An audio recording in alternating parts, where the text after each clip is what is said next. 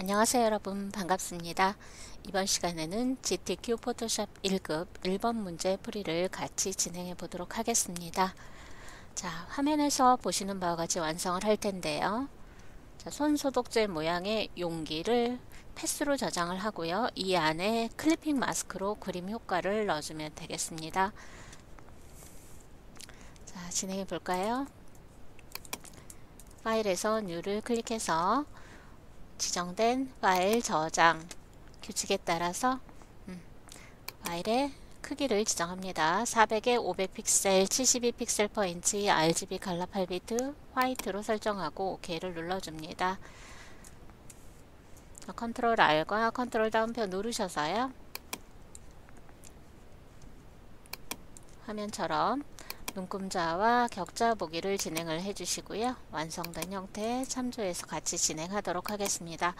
우선 1급-1 이미지를 전체 선택, 컨트롤 C 해서 복사한 후에 컨트롤 V로 작업 이미지에 붙여넣기를 하고요. 컨트롤 T를 이용해서 크기를 조정하고 배치하도록 하겠습니다. 자, 쉬프트를 누르면서 모서리 들어가셔도 되고요. 옵션 바에서 어, 비율 고정에 체크해 놓고 W나 H 수치에 적용해도 되겠습니다. 그리고 중심점의 설정도 여러분 바꿔주실 수 있습니다.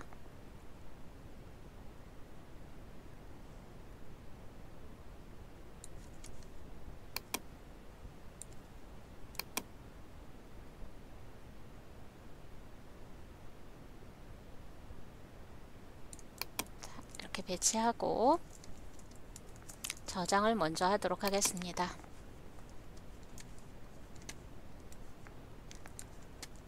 작업 중인 파일은요 임시 폴더를 하나 만들어서 여기에 저장을 하시고요 그런 다음 완료된 후에 전송된 경로에다가 저장을 하겠습니다 수험번호 그리고 여러분 성명 쓰시고요 문제 번호 1 쓰고 OK 눌러줍니다 자 적용된 필터는요 컷아웃입니다. 필터 메뉴에 필터 갤러리를 클릭하겠습니다. Alt-S틱에 컷아웃 클릭하고 OK를 눌러줍니다. 자, 필터 적용 전후로는 반드시 저장을 해주십시오. 자, 이제 소독약 용기 모양을 패스로 만들도록 하겠습니다. 자, Pen Tool로 만드는 것보다는요, 여러분 짐작이 가시겠지만 둥근 사각형과 타원 그리고 어, 펜으로 두 개의 모양을 그려서 정리를 해 보도록 하겠습니다. 툴 패널에서 Rounded Rectangle Tool을 선택합니다. 자, 그리고 모서리의 둥근 정도는 옵션 바에 레디우스를 5로 설정하도록 하겠습니다. 화면 조정 좀 해놓고요. 진행할게요.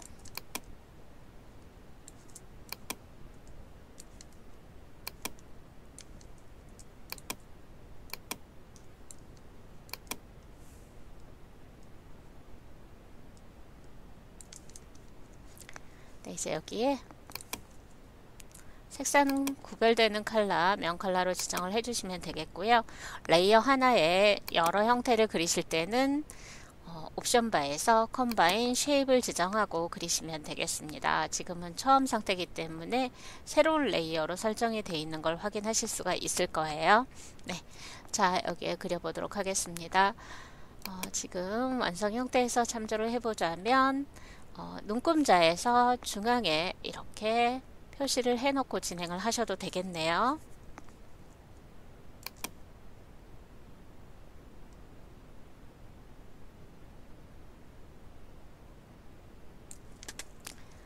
정도에 설정해 주시고요. 네, 그리도록 하겠습니다.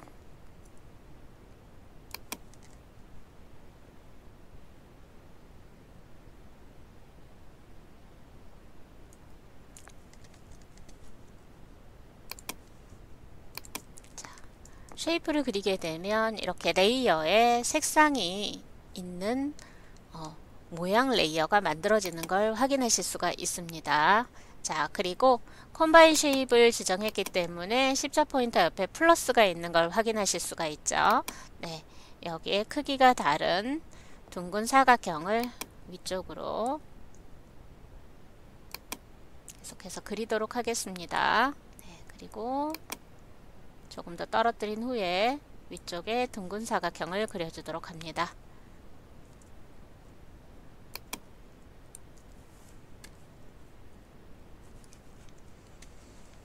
자 그리고요 Path Selection Tool을 사용해서 그려진 패스들을 선택하고 옵션 바에서 Align을 수평 중간 정렬로 지정을 해 주실 수가 있고요. 여러분이 컨트롤 T를 하게 되면 이렇게 중심을 설정하는 데 도움이 되겠습니다. 네, 이렇게 해서 위치 맞춰 주시면 됩니다. 네. 자, 여러분 엔터를 두 번 눌러주시면 한 번은 조절점이 체크가 되고 한 번은 해제가 되면서 이렇게 보이실 거예요. 자, 이렇게 패스가 표시가 됐을 때 이때 사각형을 이용해서 하나의 레이어에 연속적으로 그려야 되기 때문에 이때도 옵션 바에서 컴바인 쉐입을 지정하도록 하겠습니다. 어, 그런 다음에 위쪽에다가 사각형을 그려줄게요. 네.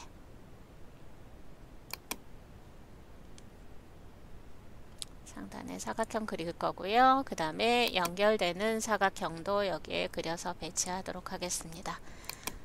네. 이때도 정렬 지정하시면서 진행하시면 되겠습니다. 자, 저장은 수시로 해주시면 되겠고요. 네.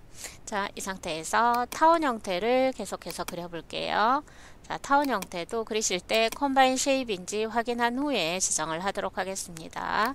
자, 드래그 하실 때 Alt 눌러주시면 이렇게 중앙에서부터 그리기가 또 가능합니다.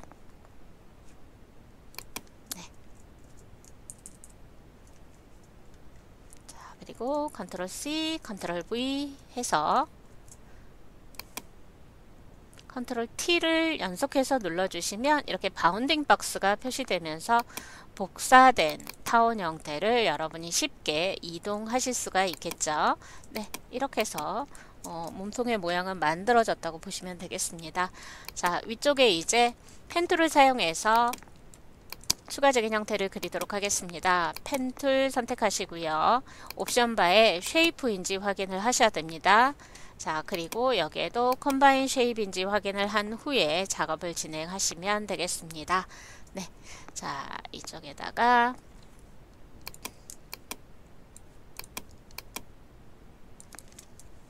모양을 그려줄게요. 네.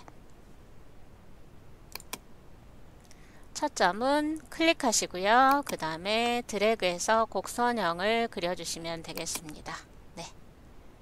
자 그리고 곡선 전환하실 땐 드래그 했던 기준점에 마우스 포인터 맞추시고 Alt 눌러서 클릭해 주시면 됩니다. 그러면 한쪽에 핸들이 사라지면서 여러분이 곡선을 연결해서 그리기가 수월하실 거예요. 네, 이렇게 하셔서 드래그 자 그리고 Alt 누르고 기준점에 클릭 그리고 처음에 찍었던 점에 클릭하게 되면 펜 옆에 동그라미 뜹니다.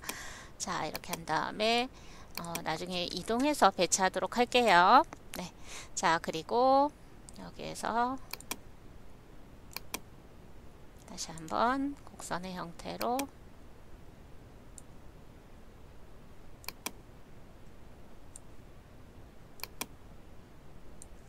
자, 이렇게 해서 물방울 형태를 그릴 거고요. 자, 이때 컨트롤 키를 누른 상태에서 여러분이 이미 그려놨던 모양이라 하더라도 이 점과 핸들을 수정을 하실 수가 있습니다. 컨트롤 누르고 어, 얼마든지 수정 가능하니까요. 어, 처음부터 내가 원하는 모양이 안 됐다고 해서 계속 언도하지 마시고요. 나중에 이 방법 사용하시면 좋을 것 같아요. 네, 자 이렇게 하시고요. 음, 여기에 사각형도 선택해서 네, 컨트롤 T로 조정을 좀 해주도록 하겠습니다.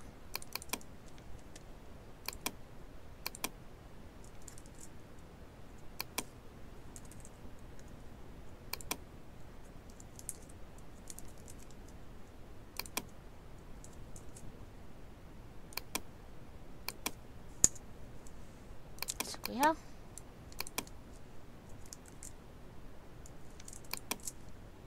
자, 패스들을 선택해서 가운데 정렬을 다시 한번 지정을 해주도록 하겠습니다. 자, 엔터를 눌러서 패스의 경계 부분이 보여지도록 해주시고요. 자, 이제 중앙에 십자가 모양 형태로 빼줄 겁니다. 자, 사각형을 선택합니다. Rectangle Tool을 선택하시고요. 자, Subtract Front Shape을 지정합니다. 그런 다음에 중앙에 직사각형을 하나 그려주도록 하겠습니다. 네, 이렇게 뚫려진 형태가 되어야지 맞습니다.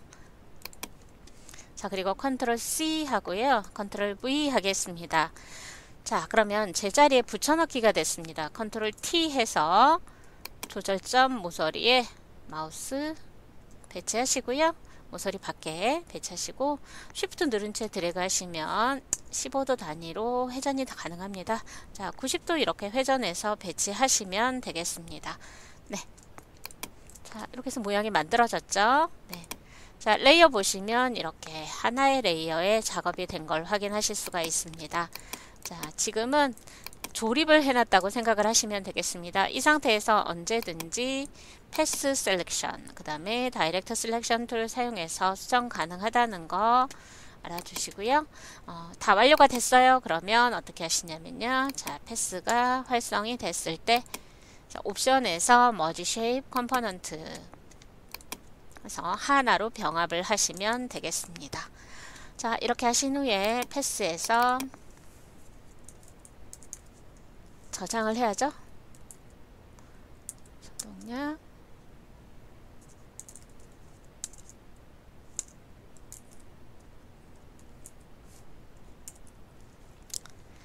저장을 할 거고요. 레이어는 패스라고 이름을 수정해 주도록 하겠습니다.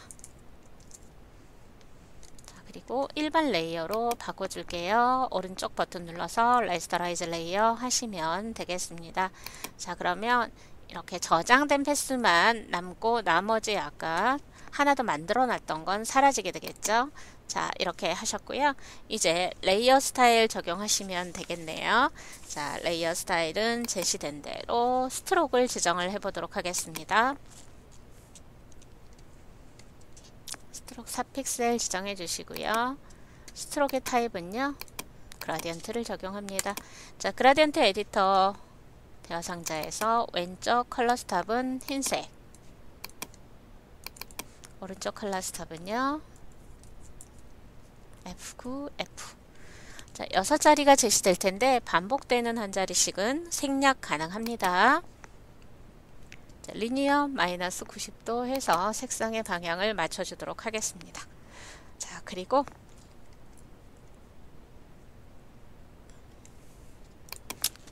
이너 섀도우 클릭해서 내부 그림자 효과도 설정을 해주시면 되겠습니다. 자 이렇게 해서 어, 만들어졌고요. 자 이제 저장 한번 하시고요.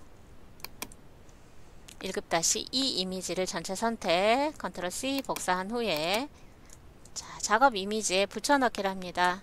자, 이때 엔터 눌러서 패스의 선택을 풀어주시면 되겠고요. 자, 이때 clipping mask 적용할 겁니다. 아래 패스 레이어와 가져온 레이어는 위아래로 배치가 되어 있어야 되고 겹쳐 있어야 됩니다. 자, 그리고 레이어의 경계 레이어 패널에서 패스와 레이어 2 경계선에 Alt를 누르고 클릭하게 되면 clipping mask가 적용이 됩니다. 자, 그런 다음에 이동 도구를 사용해서 이동하시면서 자, 컨트롤 T를 눌러서 음, 조정을 해 주셔야 되겠죠? 네.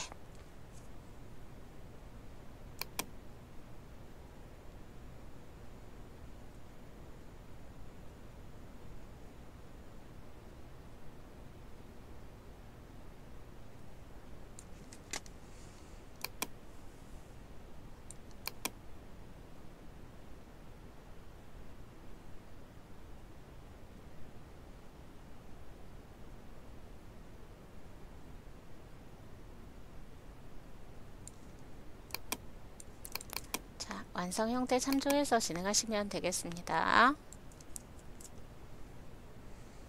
네, 테이핑 마스크는 됐고요. 이제 1급-3번 이미지의 일부를 선택해서 가져오도록 하겠습니다. 자 보시면 흰 배경 위에 모래시계가 있고요. 여기 음영이 살짝 있습니다. 자 이럴 때는요. 매직원들을 사용해서 선택해 보도록 하겠습니다. 자동 선택 도구는 클릭된 지점에 색깔과 유사한 영역을 톨러런스 범위, 범위에 따라서 선택하는 범위가 달라지죠. 자 그리고 Add to Selection을 하게 되면 선택 영역에 계속적으로 추가가 되게 됩니다. 자 톨러런스는 35 정도 설정한 후에 자 하얀색 그리고 왼쪽에 그림자 음영 부분을 클릭해서 선택을 해주시고요. 자, 이 상태에서 선택을 반전하시면 되겠죠. 자, 이때 위쪽에 여러분 보시면 이런 식으로 선택 범위가 제대로 지정이 안 된 부분들도 있을 수 있어요. 그러면 다른 선택 도구들을 사용해서 부분적인 수정도 해주실 수 있어야 됩니다. 선택 반전합니다. Shift Ctrl I 해서 반전하시고 Ctrl C 해서 복사한 다음에 작업 이미지에 가서 Ctrl V로 붙여넣기 합니다. 그리고 바로 Ctrl T를 해서요. 어, 여러분이 완성 형태 참조하셔서요. 음, 크기 조절과 함께 회전을 해서 배치하시면 되겠습니다.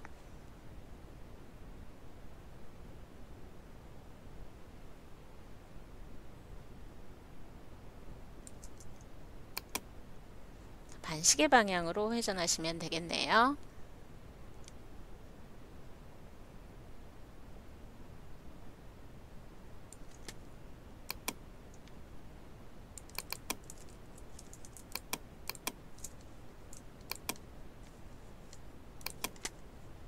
격자 참조하셔서 진행하시면 됩니다. 네.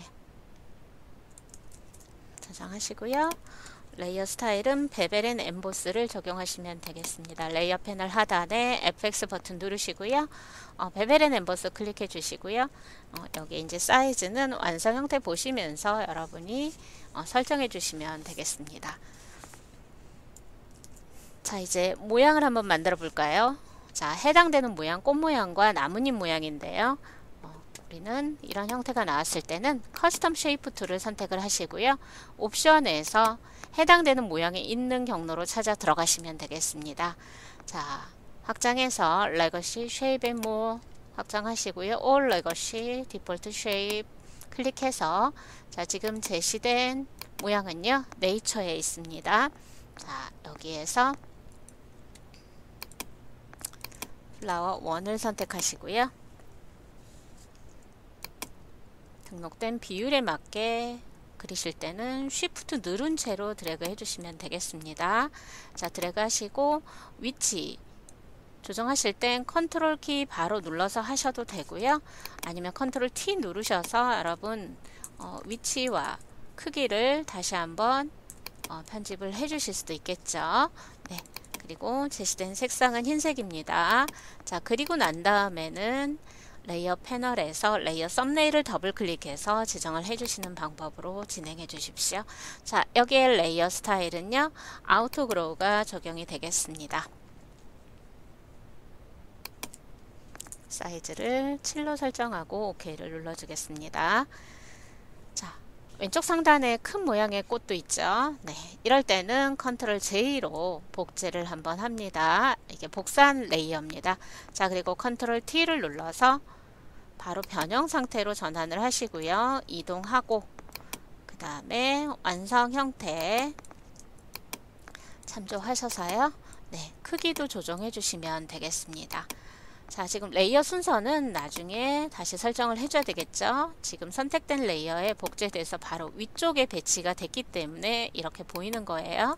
네, 자 이렇게 배치하고 색상 바꿔주도록 하겠습니다.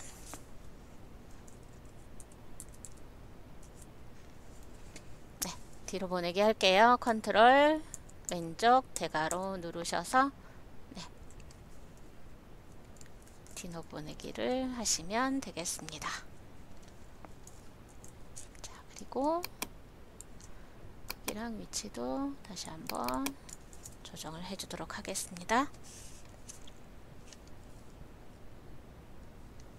자 이제 나뭇잎 모양을 그리죠. 아, 네이처에 있습니다. 나뭇잎 모양 선택하시고요. 자, shift 누르면서 드래그 해주십시오. control T 누르고 크기와 함께 회전도 맞춰주시면 되겠어요. 네.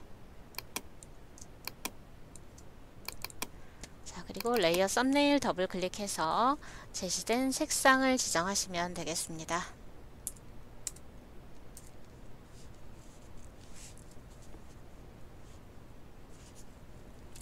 네, 여기에는 내부 그림자가 적용이 되어 있네요. 네, inner shadow를 클릭합니다.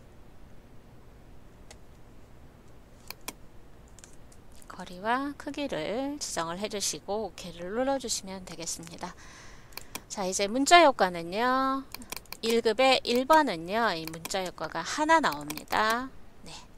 자 하나 나오고 자 설정을 보시면 Arial, bold, italic이고 50포인트입니다.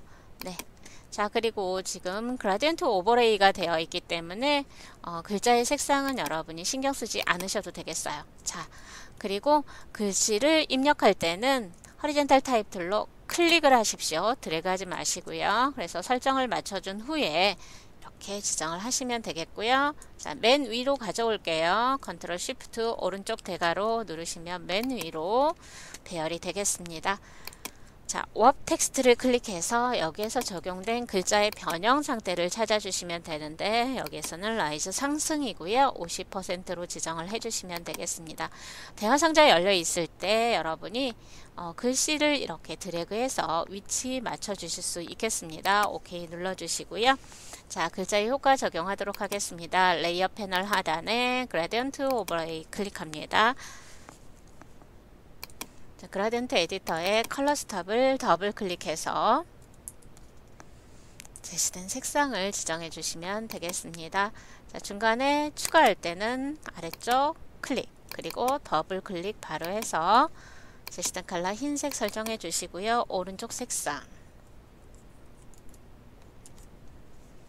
입력한 후에 OK 하시고 어, 색깔의 분포를 여러분 확인하셔서 이 Linear 아래 Angle을 지정을 해주시면 되겠습니다.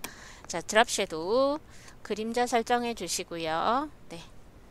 여기서는 Distance를 5로, 사이즈는 7로 설정을 하시면 되겠습니다. 자, 저장을 합니다. 자, 완성이 되었는데 이때 여러분 안내선과 격자 가리기를 해주시고요. 이제 파일의 저장 규칙에 의해서 JPEG과 10분의 1로 줄어든 PSD로 저장을 하겠습니다. 파일에 Save as 다른 이름으로 저장을 클릭합니다. 자 그런 다음에 답안이 저장 어, 전송되는 경로인 내 PC 문서를 클릭하시고요. 여러분이 집에서 연습하실 때도 문서에 GTQ 폴더 만들어 놓으십시오. 시험장에서도 GTQ 폴더 안에 넣어야 돼요. 어느 경로에 내 PC 문서 GTQ입니다. 자 문제 파일의 이름도 살펴보시고요. JPEG으로 먼저 저장을 하겠습니다. Quality는 8을 지정하시면 됩니다. 자 그리고 이미지 사이즈를 10분의 1로 줄여줍니다. 위스 하이트에 연결이 되어 있을 때 한쪽만 수치 입력하면 알아서 맞춰져서 입력이 됩니다. 위스는 40, Height는 50 픽셀인지 확인하시고요. 다시 한번 컨트롤 Shift S 다른 이름으로 저장을 통해서 어느 경로에요? 내 PC 문서에 GTQ 폴더를 찾으셔서 이곳에 포토샵 포맷으로 다시 한번 저장을 하시면 1번 문제는 완성이 되겠습니다.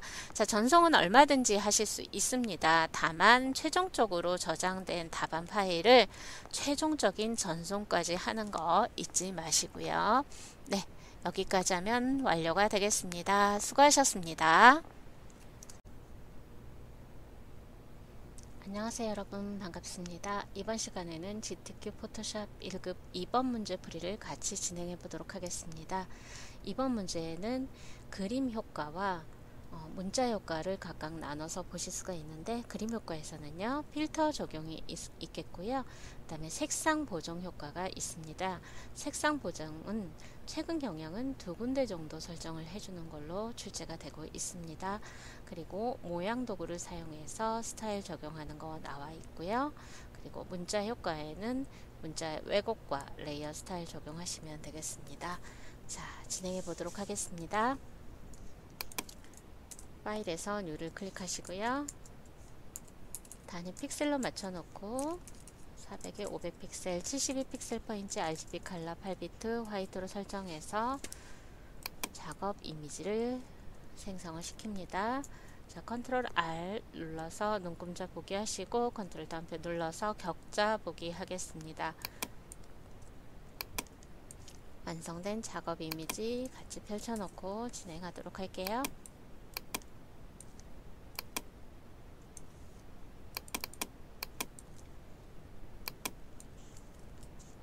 1급-4 이미지를 오픈하고 컨트롤 A, 컨트롤 C로 전체 선택해서 복사를 하겠습니다. 작업 이미지에 컨트롤 V로 붙여넣기를 하고요. 자, 크기가 조정이 돼야겠죠? 네, 컨트롤 C, 어, 컨트롤 V, 어, T를 눌러서 어, Transform 상태로 전환을 해주시고요. 종횡비에 맞게 크기 조절하겠습니다. 모서리를 드래그할 때 Shift 누르셔도 되고 지금처럼 옵션에서 종횡비 설정에 해당되는 부분을 클릭한 후에 드래그 하셔도 되겠습니다.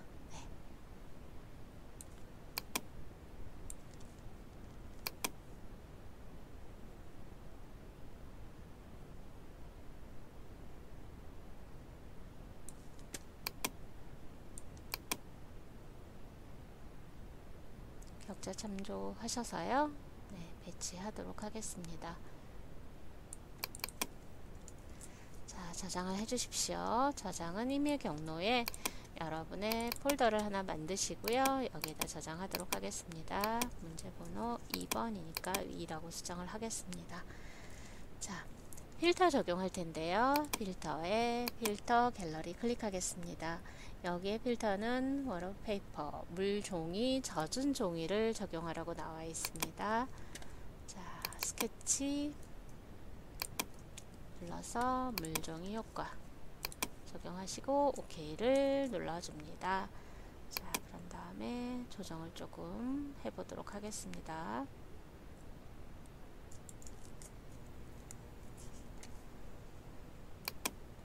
1급-5 이미지를 여시고요. 여기 제세동기 선택을 하겠습니다. 자, Object Selection Tool로 이 Selection일 때 모드는 Rectangle 사각형으로 지정하시고요. 선택하고자 하는 영역이 에워싸이도록 드래그를 합니다. 자, 외곽 부분은 선택이 잘 되었는데 중간에 이 부분을 뚫어줘야 되겠죠? 자, 이럴 때는 Quick Selection Tool 사용해서 선택 영역에서 빼는 세 번째 옵션 Subtract from Selection을 지정하시고요. 클릭 또는 드래그해서 선택 영역에서 해제해주면 되겠습니다. 자, 컨트롤 C를 해서 복사합니다. 그리고 작업 이미지에 컨트롤 V로 붙여넣기 하겠습니다. 자, 컨트롤 T 눌러주시고요. 종횡비에 맞게 크기 조절을 해주도록 하겠습니다.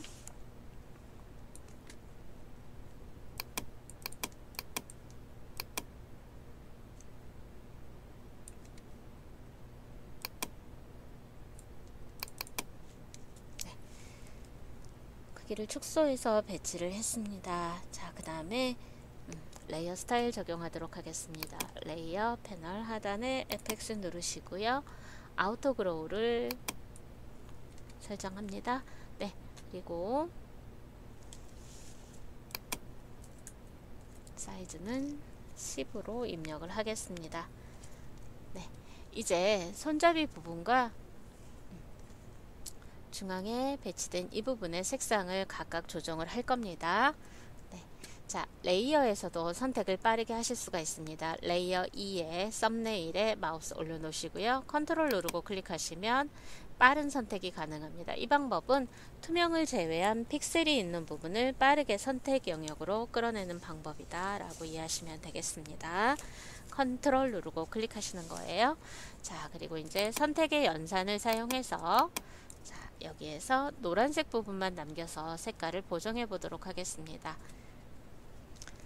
자, Quick Selection 툴을 사용해서요. 선택 영역에서 빼기 때문에 어때요? 여기 마이너스 표시가 있는 Subtract from Selection을 지정해서요. 노랑 영역이 남도록 나머지 부분에 클릭 또는 드래그해서 선택을 빼주면 되겠습니다. 네. 자, 이렇게 해주시고요. 자, 위쪽 레이어에 가려지는 영역이 있기 때문에 뭐 하단 부분은 그렇게 신경을 많이 쓰지 않으셔도 되겠습니다. 자, 이렇게 하시고 레이어 패널로 갑니다. 레이어 패널 하단에 네 번째 아이콘 누르셔서요. 조정 레이어 생성해 주도록 하겠습니다. 여기는 주황색 계열로 보정을 하겠습니다. Hue Saturation 클릭하시고요. Colorize 색상화 지정을 해 주십시오. 자, 그래서 어, Hue와 Saturation, Lightness 값을 다 조정을 해 주셔야지만 여러분이 원하는 상태로 조정이 되, 겠습니다 자, Hue는 색상입니다. 35 지정하시고요. Saturation 100 지정하겠습니다. 그리고 Lightness는 10을 입력해서 이렇게 주황색 계열로 보정을 해봤습니다. 자, 저장해 주시고요. 자, 이제 손잡이 부분을 빨간색 계열로 보정을 하시면 되겠습니다. 자, 이때 여러분 보시면은요. 이렇게 아무것도 선택되어 있지 않을 때 퀵 셀렉션은요. 뭐 add selection이든 subtract from selection이든 상관이 없습니다. 선택을 먼저 해주고 그 다음 단계에서 선택 추가하거나 빼거나가 가능하겠죠. 자, 위쪽 손잡이 부분을 드래그해서 선택을 했습니다. 그런 다음에 레이어 패널 하단에 네 번째 Hue Saturation 클릭합니다. Colorize 색상화 지정해 주시고요. 자, 여기에서는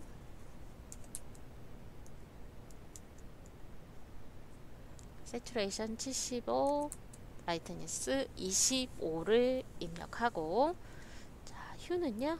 0 상태를 지정하겠습니다. 이렇게 해서 빨간색 계열로 보정을 해봤습니다.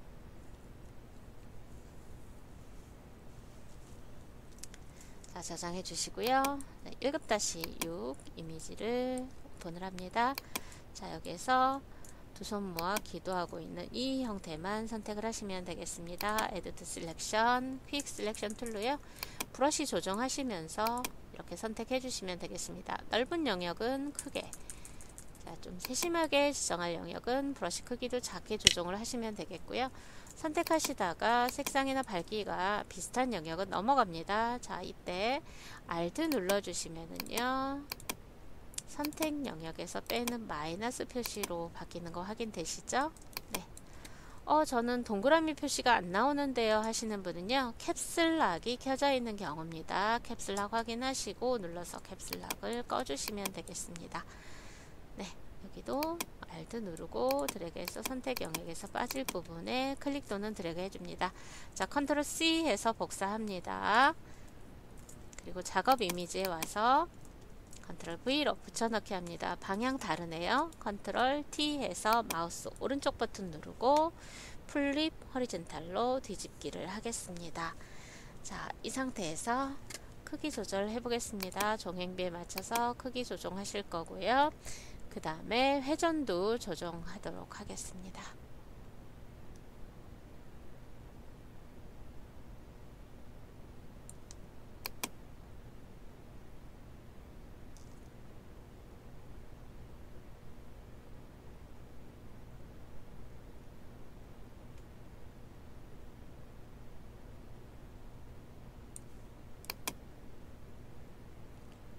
참고하셔서요.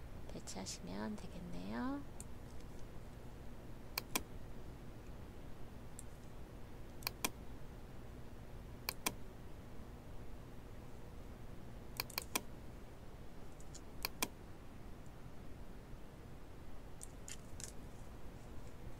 자, 레이어 추가되고 변형하고 난 다음에는 바로바로 저장해 주십시오.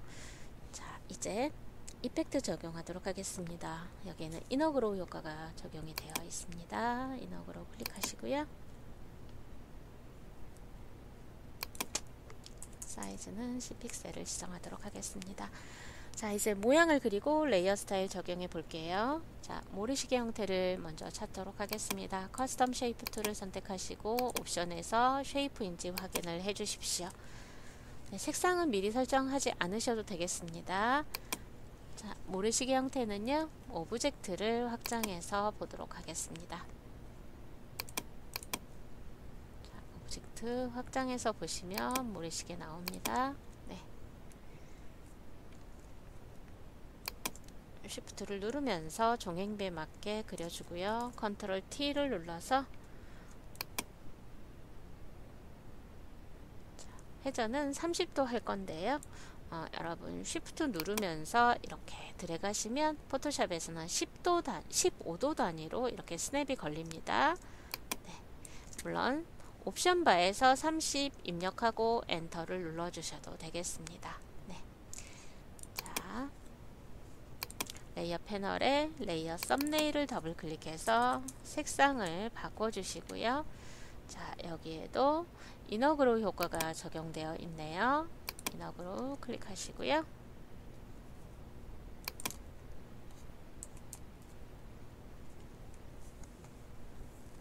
수치를 입력해 줍니다.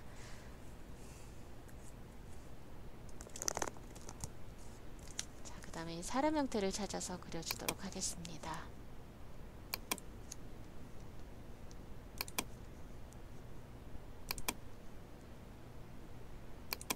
Symbols를 확장해 보시면은요 이렇게 걷는 모양 나와 있죠 보행자 클릭합니다 자 그리고 Shift 누른 채로 드래그해서 작업 이미지 하단에 배치를 해주도록 하겠습니다.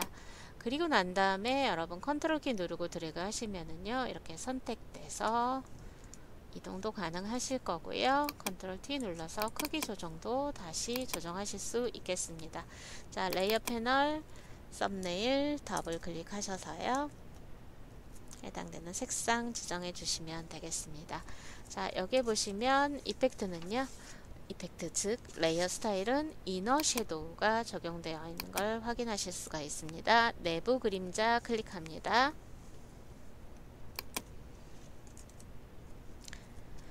여기에서 앵글 값을 각각 조정하실 때는 Use Global Light의 체크를 해제하고 조정을 해주시면 되겠습니다. 네, 하나 더 복제해서 뒤집어주면 되겠네요. 네. Ctrl J 눌러서 Ctrl T 누르고 Flip Horizontal로 가로로 뒤집기를 한 다음에 이동해서 배치하시면 되겠습니다. 그리고 레이어 썸네일 더블 클릭해서 색상을 바꿔주시면 되겠습니다. 네, 이제 모양은 완성이 됐고요. 문자 효과 적용해 보도록 하겠습니다. horizontal type tool 선택하시고요. 자, 한 줄로 입력이 되어 있는 문자인데요. 돋움 27포인트. 이거 한글에서는 bold가 따로 지정이 안 되기 때문에 조금 뚜렷하게 하고 싶다 그러면 strong 지정해 주시면 되겠습니다. 네. 클릭합니다. 설정을 맞춰주시고 글자를 입력하시면 되겠고요. warp text를 클릭해서 글자의 모양을 변형을 해주겠습니다. 여기에서 보시면 arc upper죠. 네, 정도의 차이가 심하다. 그러면 bend를 줄여서 조정하시면 되겠습니다. 자, layer 스타일 바로 적용하겠습니다. stroke 획을 지정하시고요. 3픽셀 그리고 흰색입니다. 자, gradient overlay 클릭하겠습니다. gradient 편집기에 가서 왼쪽 컬러 stop은 명령 F를 그리고 중앙에 컬러 stop 없으면 클릭해서 추가하시면 되겠습니다. 더블 클릭해서 339를 입력해 주시고요. 오른쪽 컬러 stop은 F39 작성을 하겠습니다. 자 보시면은요 색상이 어때요? 배치되는 게 좀 달라 보이죠? 자 거의 다 linear로 나오긴 하지만 여기에 스타일을 보시면 radial 방사형으로 해서 중앙에서부터 이렇게 퍼져나가는 형태로 배치를 해주고 어, 지정을 해주시면 되겠네요. 네. 자, 여기까지 해서 2번 문제 완료가 됐고요. 완성하신 후에 어, 배치라든가 이런 것들은 조정을 하실 수가 있겠습니다. 네, 저장 최종적으로 하시고요. 자, 격자 가리게 해주십시오. 그리고 파일의 Save As를 클릭해서 다른 이름으로 저장 대화 상자에서 내 PC 문서의 GTQ 폴더에 JPEG으로 먼저 저장하시는 거예요. 가로 400, 세로 500 픽셀을 유지해야 되기 때문에 JPEG 먼저 저장하십니다. 퀄리티는 8을 지정해 주시고요. 자, 이미지 사이즈 10분의 1로 줄여주세요. 네, 그리고 다시 한번 저장해서 PSD도 저장하겠습니다. 내 PC 문서 GTK 폴더에 저장 눌러서 완료하시면 되겠네요. 네, 수고하셨습니다. 안녕하세요 여러분 반갑습니다. 이번 시간에는 GTQ 포토샵 1급 3번 문제 풀이를 진행하도록 하겠습니다. 화면에서 보시는 바와 같이 완성을 해볼 텐데요. 자, 그림 효과에 대한 설정과 문자 효과로 나눠져 있습니다. layer를 잠깐 살펴보고 시작을 하시면 자, background에 지정된 배경색을 넣어 주셔야 됩니다. 그리고 어, 첫 번째 이미지는 어, layer mask 활용해서 자연스럽게 지워주도록 하고 그 다음에 layer의 옵, 음, blending 합성 모드를 적용을 하셔야 되겠습니다. 자, layer mask 두 개 적용되어 있는 거 확인하실 수 있겠고요. 자, 필터가 적용된 이미지는요. 그림과 같이 모양의 clipping mask가 적용된 채 어, 설정되어 있습니다. 자 그리고 색상 보정에 관련된 부분도 출제가 됩니다. 자 그리고 문자 효과에서는요 어, 두개 이상의 어, 워업 텍스트 문자의 변형이 적용이 되게 되겠습니다. 네. 자 진행해 보겠습니다. 어, 소스 파일에서 1급-7번부터 11번까지 오픈을 해 놓으십시오. 준비되셨습니까? 먼저 작업 이미지를 제작하기 위해서 파일에서 New를 클릭하시고요. 단위는 픽셀로 지정을 해주시고 위스는 600, height는 400, 72 pixel per inch RGB 칼라 화이트로 설정하고 OK를 눌러서 작업 document를 열어주십시오. 자, Ctrl R을 누르셔서 그림과 같이 눈금자 보기를 하시고요. 격자도 표시해 주겠습니다. 그리고 배경색을 지정하기 위해서 어, tool panel 하단에 foreground color를 클릭합니다. 자, color picker가 떴습니다. 자, 오른쪽 하단에 색상 코드를 입력하시면 되겠습니다. 자, 제시된 코드는 FFCCCC입니다. 6자리고요. 두, 두 개씩 반복이 되고 있습니다. 자, 생략해서 FCC로 입력을 하겠습니다. 자, foreground color가 바뀌었습니다. 이 해당 컬러를 배경으로 넣어 주셔야 돼요. 자, Alt Delete 하시면 간단하게 100%로 전경색 foreground color를 채워 넣으실 수가 있습니다. 자 이제 1급-7번 이미지를 클릭해서 모두 선택하고 Ctrl C로 복사합니다. 그런 다음 작업 이미지에 붙여넣기를 하고요. 크기와 위치 조정을 해주시면 되겠습니다. 그 전에 저장을 먼저 해주셔야죠. 자, Ctrl S를 하겠습니다.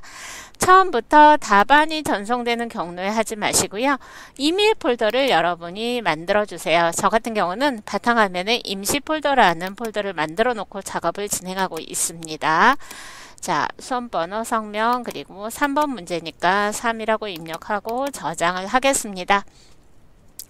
여기에 작업이 끝날 때까지 저장을 할 거고요. 완료가 됐을 때 저장 규칙에 따라서 두 개의 파일로 전송이 되는 즉 답안이 전송되는 내 PC 문서 GTK 폴더에 저장을 새롭게 해주시면 되겠습니다. 자, 완성된 이미지 참조해서 진행하도록 하겠습니다.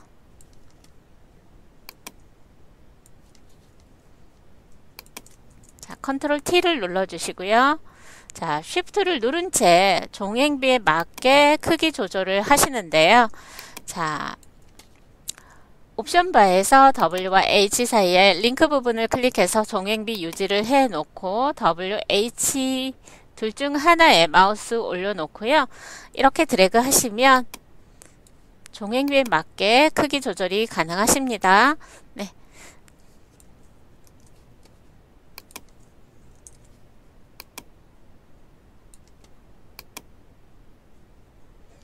크기 조절하고요. 여기에 배치하도록 하겠습니다.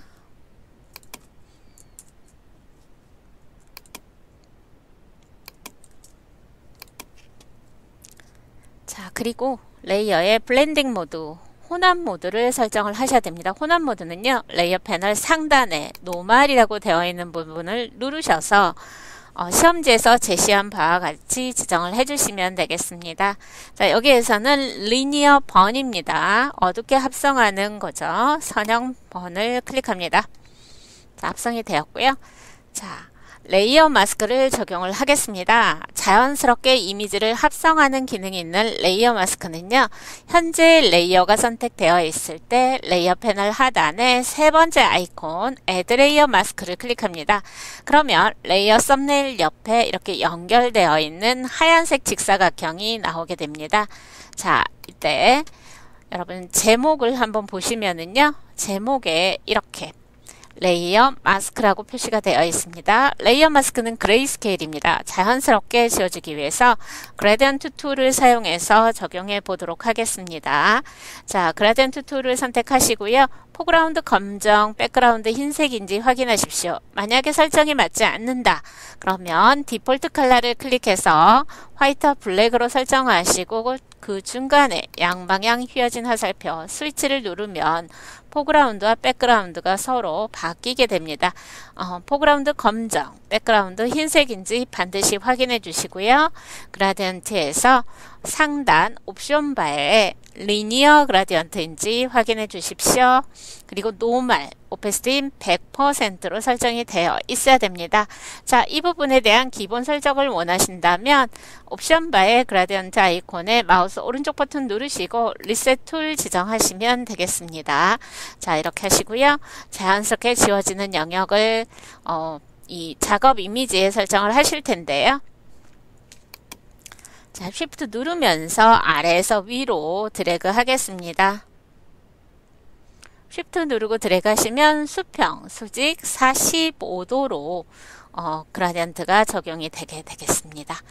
자, layer 패널 보시면 layer thumbnail에 흰색이었던 부분에 아래쪽은 검정, 회색을 거쳐 흰색으로 gradient가 적용된 걸 확인하실 수가 있고요.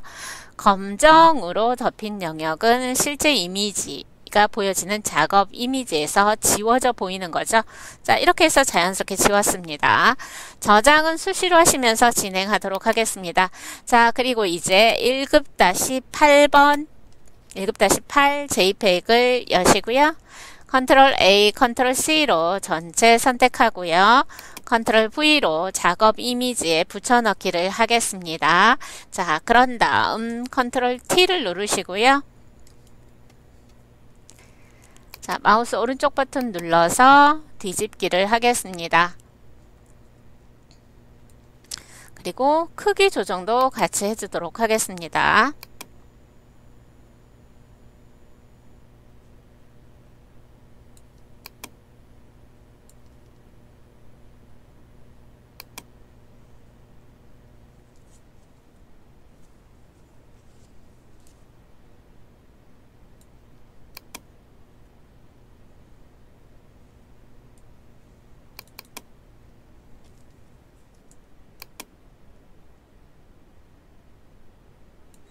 지금 이쪽에 다른 이미지들이 합성이 되어 있고 어, 모양이 그려져 있기 때문에 여러분이 위치는 어, 시험지 또는 결과 화면 보시면서 잘 조정을 해주시면 되겠습니다. 저장하시고요. 자 여기에서도 가로 방향으로 자연스럽게 지워주셔야 됩니다. layer mask 추가하겠습니다. 그리고 gradient 현재 설정 유지하시면서 자, 지워주는 방향에서 시작해서 드래그 하시면 되겠습니다. 자, 오른쪽에서 왼쪽으로 드래그 하겠습니다. 자, 쉬프트 누르셔도 되고 이 격자 그리드에 스냅이 설정되어 있기 때문에 이 스냅 설정된 대로 드래그 하셔도 되겠습니다. 자, 이때 여러분 보시면은요. 어, 이 드래그 하는 길이 이렇게 길게 한번 해보고요. 짧게 해보고요. 이 길이에 따라서 중간에 예, 오른쪽은 검정이 되고 왼쪽은 흰색이고요. 이 중간 선에는 어, grayscale 회색 단계로 어, gradient가 layer mask에 표현이 됩니다. 검정에 가까울수록 많이 지워지고요. 흰색에 가까울수록 지워지지 않는 거죠. 네, 그래서 이 길이감도 여러분이 여러 번 드래그해서 조정을 해주시면 되겠습니다. 저장해 주시고요. 자, 이제 clipping mask를 하겠습니다.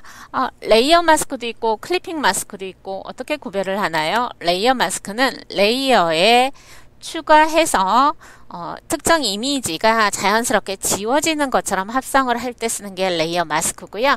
clipping mask는 어떤 특정한 형태대로 clipping 잘라준다는 얘기가 되겠습니다. 지금 보시면 이렇게 말풍선 모양의 이미지가 잘려져 들어가 있는 걸 확인하실 수가 있죠. 네, 이렇게 구별하시면 되겠습니다. 자, 그리고요. 음, 두 번째 이미지에 필터도 적용이 되어야겠죠. 네, 필터는요. 필터 메뉴 클릭하고 Filter Gallery를 클릭합니다. 여기에선 Angled Strokes 각진 선이 적용이 되어야 합니다. Brush Strokes를 클릭해서 Angled Strokes를 클릭합니다. 네. 그런 다음 OK를 눌러주시면 되겠습니다. 이때 이제 먼저 필터를 적용하지 않았다. layer mask를 먼저 적용하셨을 때는요. 반드시 layer thumbnail에서 어, 이렇게 앞에 이미지가 있는 축소판을 클릭을 해주셔야 되겠습니다. 저장해 주시고요. 자 이제 어, 이 말풍선 모양을 그리기 위해서 Custom Shape Tool을 클릭합니다. 자 평소에 모양을 좀 익혀 두십시오. 그렇지 않으면 제시되어 있는 형태임에도 불구하고 여러분이 pen tool로 직접 그리는 불상사가 생길 수가 있겠죠. 네, 물론 어, 문제의 유형에 따라서 달라질 수는 있습니다. 그러나 이 문제에서는 제공되는 custom shape 사용자 정리 모양 도구에서 찾을 수 있는 것입니다. 자, 상단에서 여러분 shape인지 확인을 하셔야 됩니다. 그래야 설정된 fill color로 layer가 생성이 되고요. layer와 layer끼리만 clipping mask가 적용이 됩니다. 자, 찾아 들어가 볼까요? 자, Legacy Shapes and More 클릭하시고요. All 레거시 디폴트 쉐입스를 클릭해서 확장을 해봅니다. 여기 Talk Bubbles가 있죠? 네, 이 Talk Bubbles에서 Talk 2 선택해 줍니다. 네. 색상은요, Clipping Mask가 돼서 이미지가 들어갈 거기 때문에 어떤 컬러를 해도 상관이 없겠습니다. 자, 크기와 위치 지정하는 것만 신경 써주시면 됩니다. 자, 그리고 난 다음에 컨트롤 키 누르고 어, 이렇게 Path Selection, Path 선택 도구로 바뀌었을 때 여러분이 원하는 위치로 클릭 드래그 해서 조정도 가능하십니다. 네. 그리고 컨트롤 T를 해서 크기나 다른 변형도 가능하겠습니다. 자, Layer 패널 하단에서 Effect 적용해 보도록 하겠습니다. Effect는 Stroke 획을 적용할 거고요.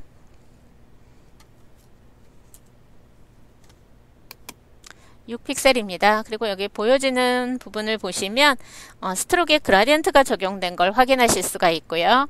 자, 이 색깔이 있는 부분에서 점점 어때요? 투명으로 변환되는 걸 여러분이 확인하실 수가 있습니다.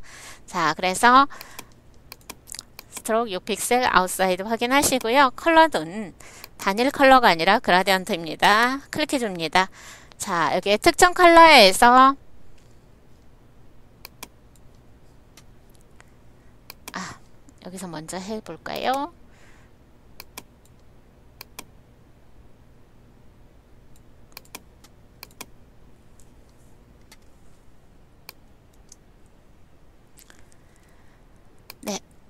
여기에서 미리 설정이 가능하신데요.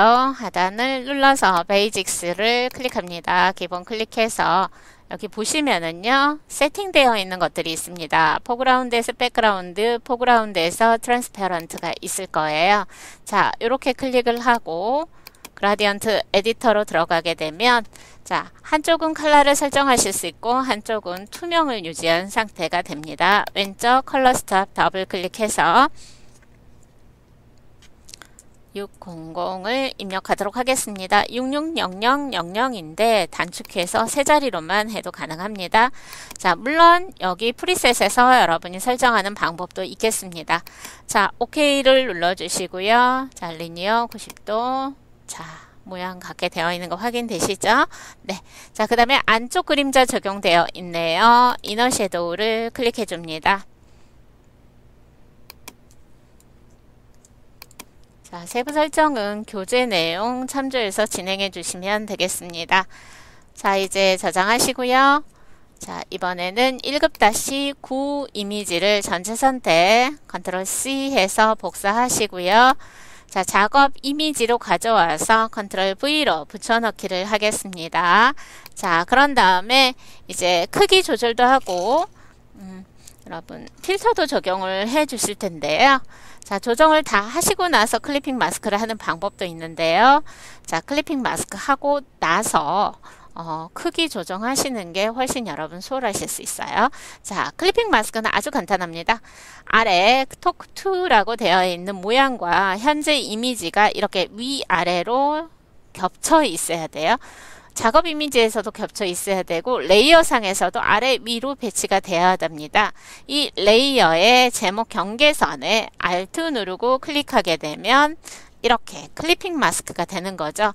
실제로 이미지는 다 보여지지만 아래 Talk 2 1이라고 되어 있는 이 부분 색상이 들어가 있는 부분과 공통적으로 접하는 이미지만 잘려져 보여지는 게 바로 Clipping Mask입니다. 네, 자 이렇게 했고요. 컨트롤 T를 눌러서 크기 조절을 해보도록 하겠습니다. 자, Shift 누르면서 드래그 하셔도 되고 옵션 바에 종횡비 유지 아이콘 누르시고 드래그 하셔서 조정하셔도 되겠습니다. 자, 이렇게 해서 위치를 맞춰줍니다. 격자 참조해서 진행하시면 되겠습니다.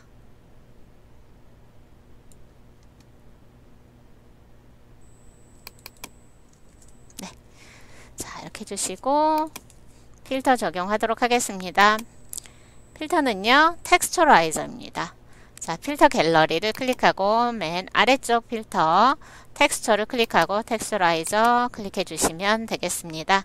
자, 필터 적용한 후에는 반드시 저장하는 거 잊지 마십시오. 자, 이제 1급-10번 이미지에서 손 모양을 선택해서 가져오시면 되겠네요. 자, 여기서는요. Magic Wand Tool을 사용해서 배경을 선택하고 반전해서 선택을 하도록 하겠습니다. 자, 선택하고자 하는 이미지보다 배경이 단조로울 때 써주는 반전인데요. 자, 이때 한번 클릭했을 때 선택되는 범위를 지정하는 게 바로 무엇이냐? 이 Tolerance라고 하는 겁니다. 자, Tolerance 수치도 조정을 해주시고 어, 여러 번 클릭을 해야 되는 경우다. 그러면 여러분이 여기에 Add to Selection을 클릭하시면 됩니다. 또는 Shift 누르고 클릭하셔도 같은 효과이겠습니다. 자, 반전해 줍니다. Select Inverse 선택하시고 컨트롤 C 눌러서 복사하시고요. 컨트롤 V로 붙여넣기 하겠습니다. 그 다음에 컨트롤 T를 바로 눌러서 크기 조절과 함께 회전해서 배치하도록 하겠습니다. 자, 물론 종횡비 유지하는 거 잊지 마십시오. Shift 누르시거나 상단 옵션 바에 종횡비 유지 아이콘 클릭해서 적용해 주시면 됩니다. 자, Shift 누르고 들어가실 때는 끝까지 Shift를 눌러 주시고 마우스는 나중에 떼 주시는 거예요. 네. 자, 중간에 떼 주게 되면 종횡비가 유지가 안 되기 때문에 여러분 어떤 일이 생기느냐 약간 이미지가 어, 비율이 깨지면서 좀 어색해 보입니다. 네. 자 그리고요 회전도 해서 배치하도록 하겠습니다.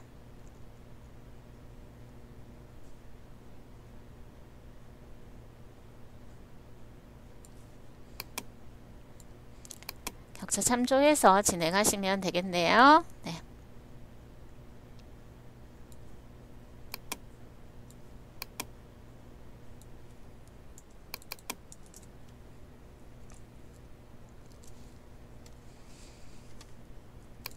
자, 여기 보시면 그림자 효과 적용되는 거 확인하실 수 있죠. 네, Drop Shadow를 클릭하겠습니다.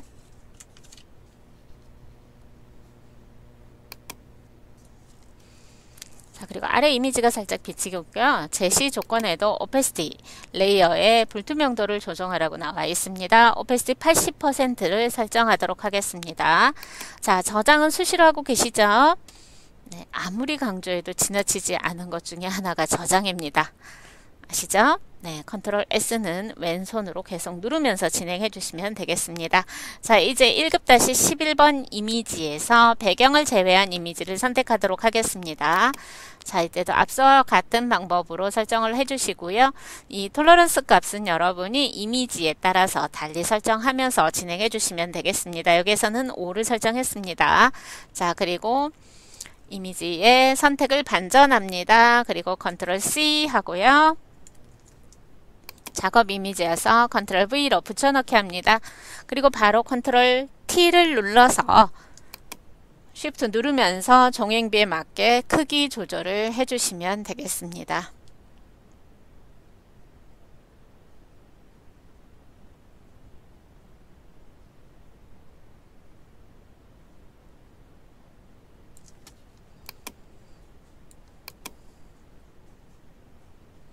격자 그리드 참조해서 여러분 진행하시면 되겠네요.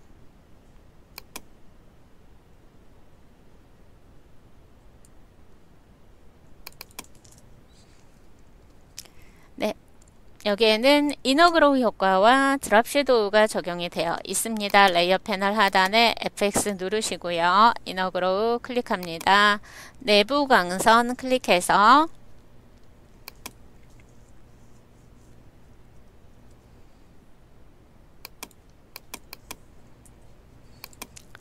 세부 수치는 교재 참조해서 진행해 주시면 되겠고요. 드랍 섀도우를 설정해서 OK를 눌러주도록 하겠습니다. 자, 저장하면서 진행하는 거 잊지 마시고요.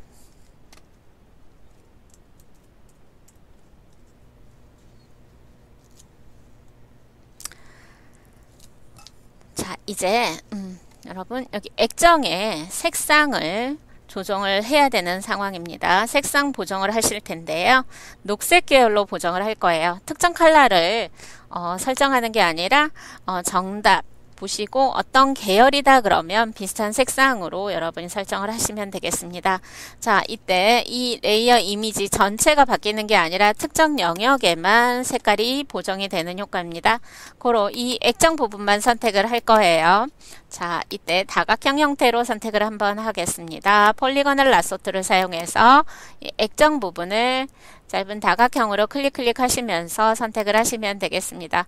뭐 곡선형이 아니기 때문에 여러분 여기는 폴리곤을 라쏘가 편리하겠죠. 네, 처음에 찍었던 점에 마우스 클릭하시고 어, 완료를 하겠습니다. 자, 그런 다음에 레이어 패널 하단에 조정 레이어를 추가해 주시면 되겠습니다. 자, 대부분의 색상 보정은 Hue Saturation을 클릭해서 설정하실 수가 있습니다. Properties라는 패널이 새롭게 열리고 있습니다. 자, 여기에서 색상화 Colorize를 체크를 해 주시면 색깔 조정이 훨씬 더 수월하겠습니다. 자, 녹색 계열이기 때문에 어, 여러분 여기 Hue 색소에 해당되는 스펙트럼에서 유사한 부분에 마우스를 이렇게 드래그 하시면서 조정을 하시면 되겠고요. 그 다음에 세츄레이션은 색의 강약입니다. 지금 기본값이 좀 낮아요. 탁한 부분이 있죠. 그래서 오른쪽으로 드래그해서 네, 수치를 좀 올려주도록 하겠습니다. 여기에선 60을 설정해 주시면 되겠습니다. 138이네요. 네. 자 이렇게 해서 색깔을 지정을 해 주십시오. 조정 레이어는요. 이렇게 별도의 레이어가 해당 이미지 위에 올려져서 지금 선택했던 부분에만 색상이 바뀌어 보이고 나머지는 원본을 유지해 주는 효과입니다. 자 그리고 언제든지 이 아이콘 더블 클릭하게 되면 Properties에서 수정도 가능하다는 장점이 있습니다. 자 여기까지 하셨고요. 이제 모양을 만들고 레이어 스타일을 적용하도록 하겠습니다. 자 여기에서 모양은요. Custom Shape Tool을 사용해서 만들어주는 겁니다. 자, Custom Shape Tool을 선택합니다. 그리고 여기 어, 왼쪽 하단에 있는 모양을 먼저 만들어 보도록 하겠습니다. 자, 이 형태는요. 2019 Shapes에 있습니다. 여기 보시면 Roads and Streams 자 여기에서 여러분이 형태를 찾아주시면 되겠습니다. 자 Shape 9입니다. 네, 클릭해서 선택해 주시고요. 자 해당되는 칠, Fill Color를 적용을 해야 되는 경우도 있는데요. 여기에선 Gradient가 적용이 되어 있기 때문에 여러분이 어떤 색깔을 설정해도 상관은 없겠습니다. 자, 그려주도록 합니다. 자, 이렇게 드래그를 하시는데 이때도 역시 여러분 옵션에서 Shape인지 확인을 하셔야 됩니다.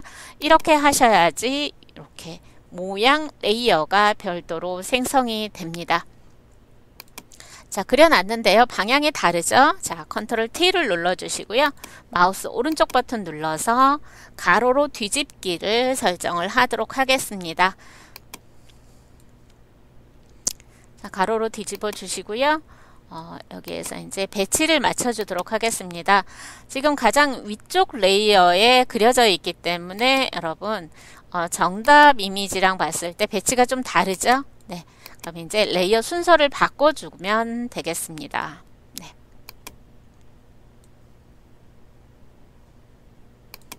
조금 더 옆으로 드래그해서 그려주도록 하겠습니다.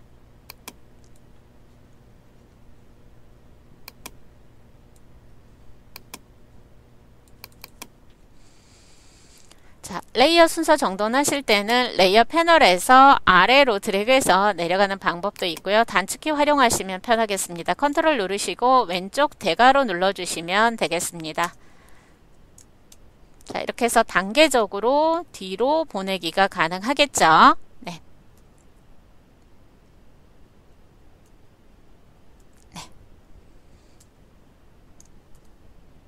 자 그리고 컨트롤 쉬프트 누르시면 맨 앞으로 맨 뒤로 보내기도 가능합니다. 자 이렇게 해서 드래그해서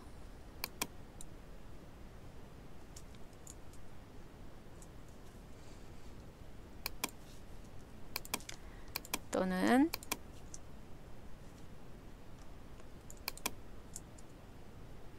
자 앞으로 가져올 이미지를 선택해서 어, 맨 앞으로 가져오는 방법도 있겠죠. 네, 컨트롤 눌러서 이렇게 레이어에서 여러 개 레이어 선택하시고 자, 컨트롤 Shift 누르고 오른쪽 대괄호 눌러주셔도 되겠습니다. 자, 이렇게 해서 앞쪽으로 자, 배치를 맞춰 주었습니다. 네. 자, 이제 레이어 효과 적용해 보도록 하겠습니다. 자 여기 Inner Shadow 적용된 부분을 보여주기 위해서 제가 색깔을 일단 바꿔봤고요. 자 레이어 스타일 클릭하시고요. Inner Shadow를 클릭하겠습니다.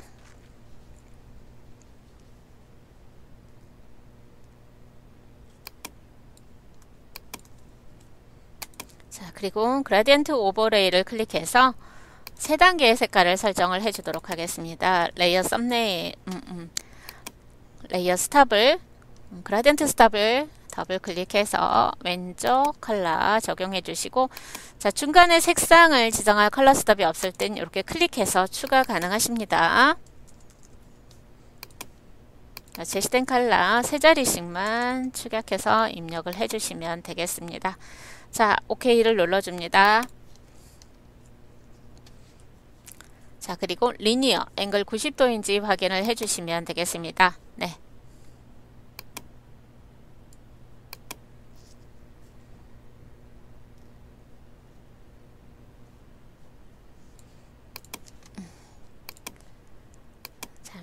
잠시만요.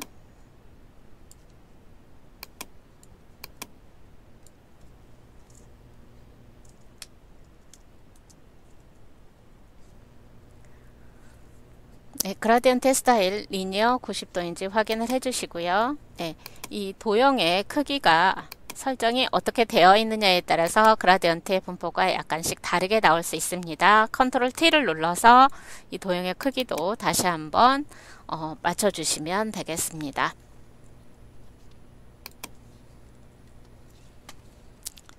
자 이제 다음 모양을 그리도록 하겠습니다. 네, Custom Shape Tool일 때 자, 2019 쉐입에서 피플을 클릭합니다. 자, 여기에서 세 번째 쉐입 284를 클릭하겠습니다. 네. 자, 그리고 드래그를 해줍니다. 자, 이때 처음부터 Shift 누르지 마시고요. 드래그 하는 동안에 Shift를 눌러 주십시오. 자, 이렇게 계속해서 여러분 모양, custom shape으로 모양을 그릴 때 어, Shift를 처음부터 누르게 되면 이전에 작업했던 layer에 같이 그려질 수가 있습니다. 그래서 Shift는 드래그 하는 동안에 나중에 눌러주셔도 되겠습니다. 네.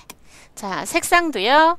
연속해서 그리실 때는 layer 패널에서 어, layer thumbnail을 더블 클릭하게 되면 custom shape은 color picker가 뜹니다. 자 여기에서 제시된 컬러를 적용하시면 되겠습니다. 그렇지 않으면 어, 여러분 위에 옵션에서 적용했을 때 먼저 적용한 shape의 색깔이 바뀌는 경우도 종종 있습니다. 혼동을 피하기 위해서 이렇게 layer thumbnail을 사용하시는 게 훨씬 더 효율적이라고 생각이 됩니다. 네. 자, 여기에 layer에 스타일 적용하도록 하겠습니다. outer glow.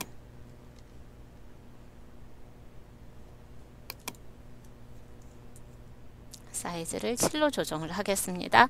자, 그리고 layer의 opacity 값을 70%로 적용을 해줍니다. 자, 이제 이 장식 모양을 그리도록 하겠습니다. 이 장식 모양은 말 그대로 장식에 있습니다. 네. All Legacy Shape Default Shape을 확장해서 보시고요. 여기 Ornament를 클릭해서 이곳에서 여러분이 장식 형태를 찾아주시면 되겠습니다. 자, 그리고 드래그 하실 때 이렇게 종횡비가 깨질 수 있으니까 이 부분도 드래그 할 때 하는 도중에 Shift 눌러주시면 되겠습니다. 네. 자, 그리고 layer, thumbnail을 더블 클릭해서 색상을 바꿔주세요.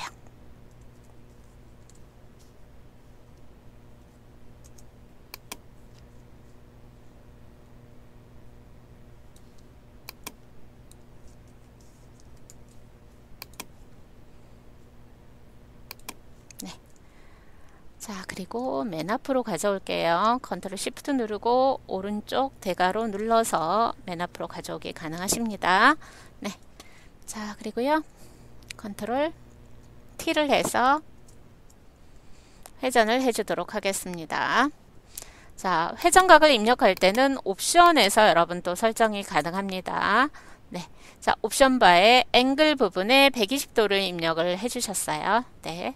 자, 그리고 위치와 크기를 다시 한번 조정을 하도록 하겠습니다.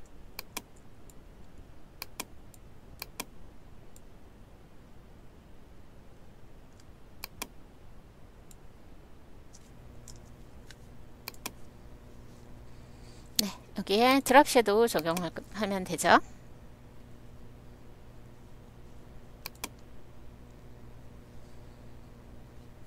자 그리고 오페스티도 조정을 해주도록 하겠습니다. 70% 적용하시면 되겠습니다.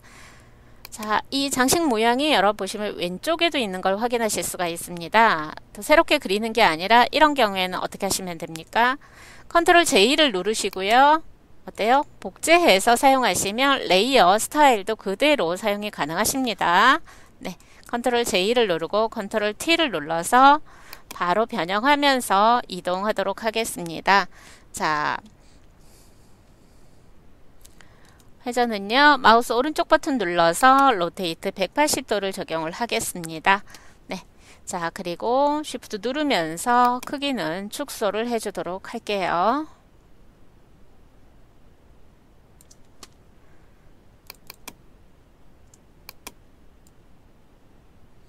네, custom shape을 설정해 놓은 상태에서 Control을 누르게 되면 path selection이 되기 때문에 이렇게 이동할 때 편리하게 쓰실 수 있습니다. 자 그리고 색상을 바꿔 주셔야 됩니다. 여기서는 흰색을 설정하시면 되겠습니다. 네, 저장을 해 주시고요. 자, 이렇게 해서 이제 모양은 완성이 되었습니다. 이제 문자를 입력하고 왜곡을 하고 layer 스타일 적용해 보도록 하겠습니다.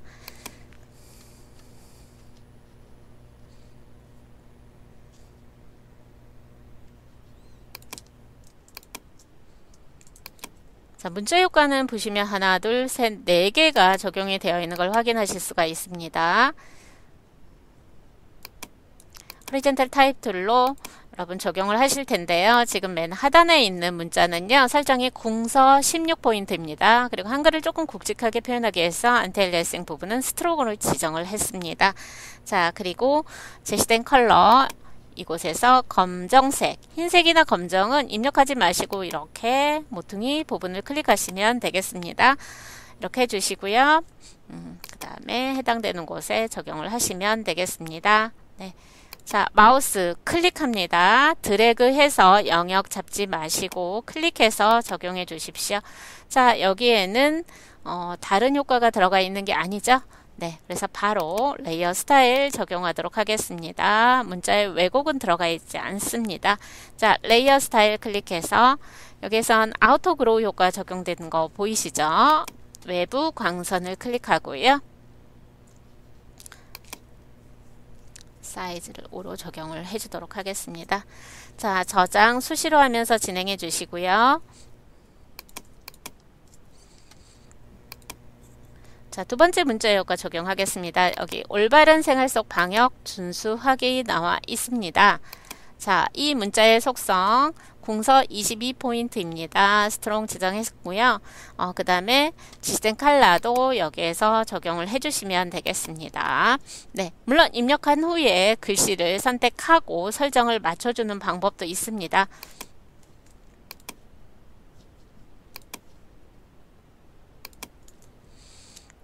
클릭하고 진행하십시오.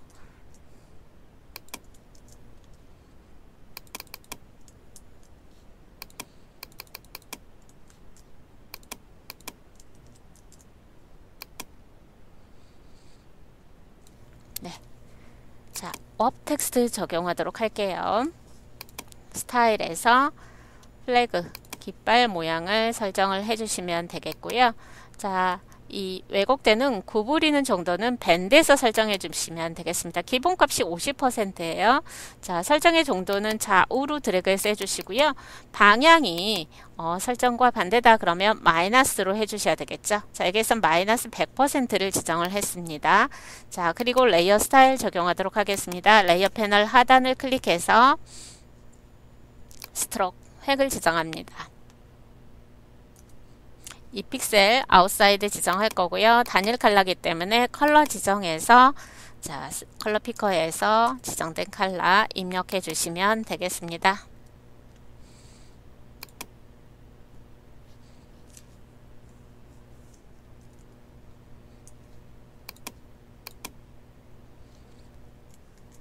네, 저장하시면서 진행해 주세요. 자, 그 다음에 세 번째 청결과 예방수칙 지키기 나와 있습니다. 여기도 Warp Text 적용된 거 여러분 아실 수 있고요. Stroke, 획과 Gradient Overlay가 적용된 걸 확인하실 수가 있습니다.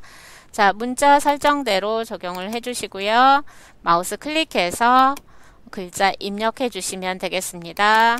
아, 그리고 위에 워 텍스트를 클릭해서 자 여기에선 어때요? 아크에 해당되는 부분입니다. 대화 상자 열어놓고 글자의 위치 작업 이미지에서 바로 드래그해서 조정 가능합니다. 휘어지는 정도 값은요. 어, 30% 해주시면 되겠습니다. 자, 이렇게 해서 설정을 맞춰주시고요. 자, 레이어 스타일 적용하겠습니다. Stroke 획 지정하시고요. 이 포인트 2픽셀이고요. 어, 포지션은 Outside입니다. 그 다음에 색상을 맞춰주도록 할게요. 정해주시고 Gradient Overlay 자 여러 개의 레이어 스타일을 동시에 적용하실 땐 앞에 체크박스만 클릭하시면 안 되고요 해당되는 스타일의 제목을 클릭해야지 오른쪽 옵션이 바뀌는 건 다 알고 계실 거예요 네자 색상 설정하도록 하겠습니다 왼쪽 Color Stop 더블 클릭해서 중앙에 추가 하나 합니다. 없을 때는 클릭하시면 되고요. 불필요할 때는 아래로 드래그해서 삭제도 가능합니다. 아, 네, 여기에서는 두 개의 컬러네요. 네, 자 그러면 이거를 삭제해 보도록 할게요. 자, 오른쪽으로 드래그해서 배치 맞춰주시면 되겠고요. Linear Linear 상태 맞습니다. 그리고 색깔의 배치를 보시면 어때요? 90도기 때문에 이렇게 위아래로 되어 있습니다. 왼쪽에서 오른쪽 컬러로 진행될 때 0도 설정해 주시면 되겠네요. 네, 저장하면서 진행해 주시고요. 자, 이제 상단의 글자만 설정해 주시면 되겠습니다. 상단 글자 Times New Roman Bold Italic에 20포인트입니다. 어, 그리고 제시된 색깔 지정해 주시고 Drop Shadow 적용하시면 되겠네요. 자, 이 부분은 이렇게 배치를 하겠습니다. 자, 최종적으로 이제 작업이 마무리 되셨으면은요. 자, 레이아웃 부분 다시 한번 지정해 줄 곳 없나 한번 확인해 보시고요. 자, 이동 Move Tool로 설정을 해주시면 되겠습니다. 여러분 Move Tool 사용하실 때 상단 옵션 바에 Auto Select Layer를 지정해 놓고 사용하시면 해당되는 어, 이 레이어가 바로바로 바로 클릭만으로 이렇게 선택이 가능하고 바로바로 바로 이동이 가능하겠습니다. 자, 저장 최종적으로 하고요. 격자 가리기 하겠습니다. 그런 다음 저장 규칙에 따라서 저장을 다시 한번 해주도록 하죠. 파일에 Save As 다른 이름으로 저장을 클릭합니다. 지금은 바탕화면 임시 폴더에 저장을 하고 있는 거고요. 내 PC 문서를 클릭해서 GTQ 폴더에 저장을 하셔야지 답안 전송이 가능합니다. 연습하실 때부터 이 경로에 GTQ 만들어 놓고 진행하시라고 계속 강조드리고 있습니다. 자, JPEG을 설정합니다. JPEG은 옵션이 있습니다. 자, 퀄러티 8 지정하시고요. 자, 첫 번째 저장했고요. 10분의 1로 축소한 JPG 에서 10분의 1로 축소한 PSD를 저장하셔야 됩니다. 미스 60, 하이트 40 지정해 주시고요. 다시 한번 Save As 다른 이름으로 저장을 통해서 어느 경로에요? 내 PC 문서 GTQ 폴더에 저장을 하시면 3번 문제는 마무리가 되겠습니다. 수고하셨습니다. 안녕하세요 여러분 반갑습니다. 이번 시간에는 GTK 포토샵 1급 4번 문제 풀이를 진행하도록 하겠습니다. 자 보시는 바와 같이 완성된 작업 이미지가 있는데요. 네. 자 4번 문제에서는요. 자 Clipping Mask가 적용되어 있는 패턴이 있습니다. 그리고 색상 보정 효과도 들어가 있고요. 네. 자 진행해 보도록 하겠습니다. 자, 4번 문제 작업을 위해선 소스 폴더에 소스 파일 1급-12번부터 17번까지 미리 오픈을 해 두십시오. 자, 진행하겠습니다. 준비되셨죠? 자, Control N을 누르고요. 어, 작업 파일 파일을 생성하도록 하겠습니다. 위스는 600, Height는 400 픽셀 지정해 주시고 해상도 72 Pixel per Inch, Color Mode RGB Color 8비트 White로 설정을 해 주십시오. 자, 4번 문제도 3번 문제와 같이 어, 전경색을 지정해서 배경 컬러를 넣어준 후에 합성 모드, 혼합 모드를 적용을 할 겁니다. 자, Foreground Color를 클릭해서 Color Picker가 뜨면은요. 자, 색상은 어, 반복적인 두 자리 축약해서 세 자리만 입력해도 빠르게 입력이 가능하다고 했습니다. 네. 자, Alt Delete를 눌러서 적용을 해주시고요. 격자와 어, 눈금자는 설정을 해주십시오. 자, 그리고 저장을 하도록 하겠습니다. 저장은 임의의 경로에 여러분이 작업할 폴더를 하나 만들어 주십시오. 바탕화면에 저는 임시 폴더 만들었고요. 4번 문제 저장 규칙에 의해서 이름 설정합니다. 자, 1급-12번 이미지를 열고 Control A, Control C로 전체 선택합니다. 작업 이미지에 Control V로 붙여넣기를 하겠습니다. 그리고 완성된 이미지 참조해서 배치를 맞춰줄 거예요. 네.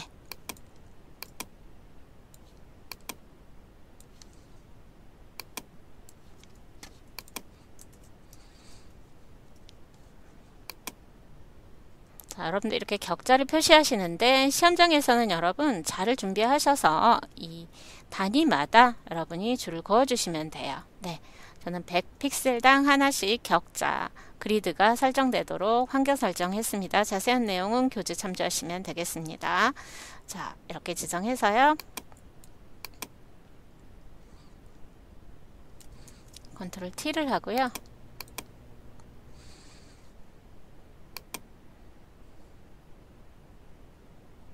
확대를 해주도록 하겠습니다. 그리고 배치 맞춰주시고요. 저장하면서 진행해 주십시오. 자, 레이어에 혼합 모드 적용할 겁니다. 여기에선 스크린 지정할 거예요. 밝게 합성되는 모드죠. 스크린을 클릭합니다. 그리고 자연스럽게 합성을 해줄 거예요. 세로 방향으로 자연스럽게 합성입니다. 자, 이때는 layer mask를 추가하는 겁니다. layer 패널 하단에 Add Layer Mask를 클릭해서 layer mask를 추가하고요. 자연스럽게 어, 이미지를 지워나가기 위해서 Gradient Tool을 활용을 할 겁니다. 자, tool 활용할 때 여러분 모든 tool의 옵션을 디폴트로 세팅을 먼저 하고 진행하시면 편리하겠습니다. 오른쪽 버튼 눌러서 Reset All Tools를 지정을 해 주십시오. 자, Foreground는 흰 검정, Background는 흰색인데 확인 꼭 해주시고요. 위에 Linear Gradient 모드는 Normal, Opacity 100인지 확인을 해주십시오. 네, 그런 다음 아래에서 위로 Shift 누르면서 드래그 해주도록 하겠습니다. 여러분 이때 이 길이감, 방향 조정 잘 하셔야 된다고 했습니다. 세로 설정하실 땐 방향 잘 잡으셔서 진행하시고 반듯하게는 Shift 눌러주시면 되겠습니다.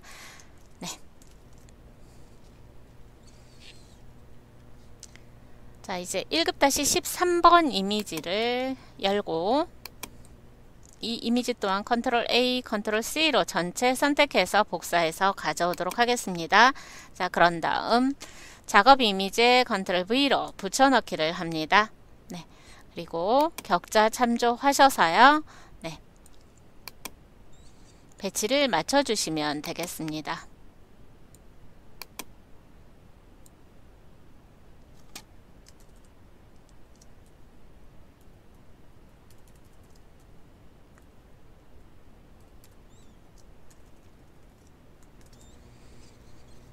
layer 추가될 때마다 저장하는 거 잊지 마시고요.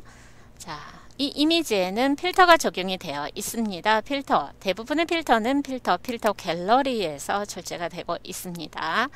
자, Brush Stroke를 확장해서 Angled Stroke를 클릭합니다. 각진선 클릭해서 적용을 해주시고요. 자, 이 이미지 또한 자연스러운 합성을 위해서 어, 가로 방향으로 흐릿하게라고 제시가 되어 있습니다. 이때 layer mask 추가해 주시고요. 자, Gradient Tool로 어, 지워주고자 하는 방향에서부터 드래그 하시면 되겠습니다. 자, 왼쪽에서 Shift 누른 채로 드래그해서 이 작업 이미지 밖으로 이렇게 조금 나가주시면 되겠습니다.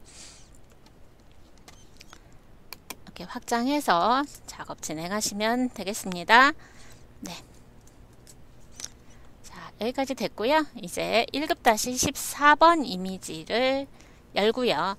자, 여기 청진기 이미지가 있는데 어, 비교적 배경이 단조로운 흰색이에요. 그런데 어, 여기서 보시면 이렇게 그림자 부분이 설정이 되어 있기 때문에 어, 여러분이 일반적인 선택 도구 매직 원드를 사용해서 작업을 진행하실 때 어, 생각보다 깨끗하게 선택은 되지 않을 거예요. 그죠? 네. 자, 이 그림자 부분들도 있기 때문에 선택을 한다 해도 테두리 부분이 좀 울퉁불퉁하고 깨끗하게 보이지가 않습니다. 네. 그래서 자, 이 부분은요. Pen Tool을 사용해서 어, 선택을 진행해 보도록 하겠습니다. 자, Pen Tool 사용하실 때 이미지의 일정 영역을 선택하겠다라고 하실 땐 위에 옵션이 path가 지정되어 있는지 확인하셔야 됩니다. 어, 좀 전에 저희가 어, Reset All Tools라고 해서 옵션을 초기화를 다 해 놓은 상태이기 때문에 펜에 옵션은 path가 기본 옵션입니다. 그리고 path를 딸 때 위에 보시면 path 작업은요. exclude overlapping shapes에 되어 있습니다.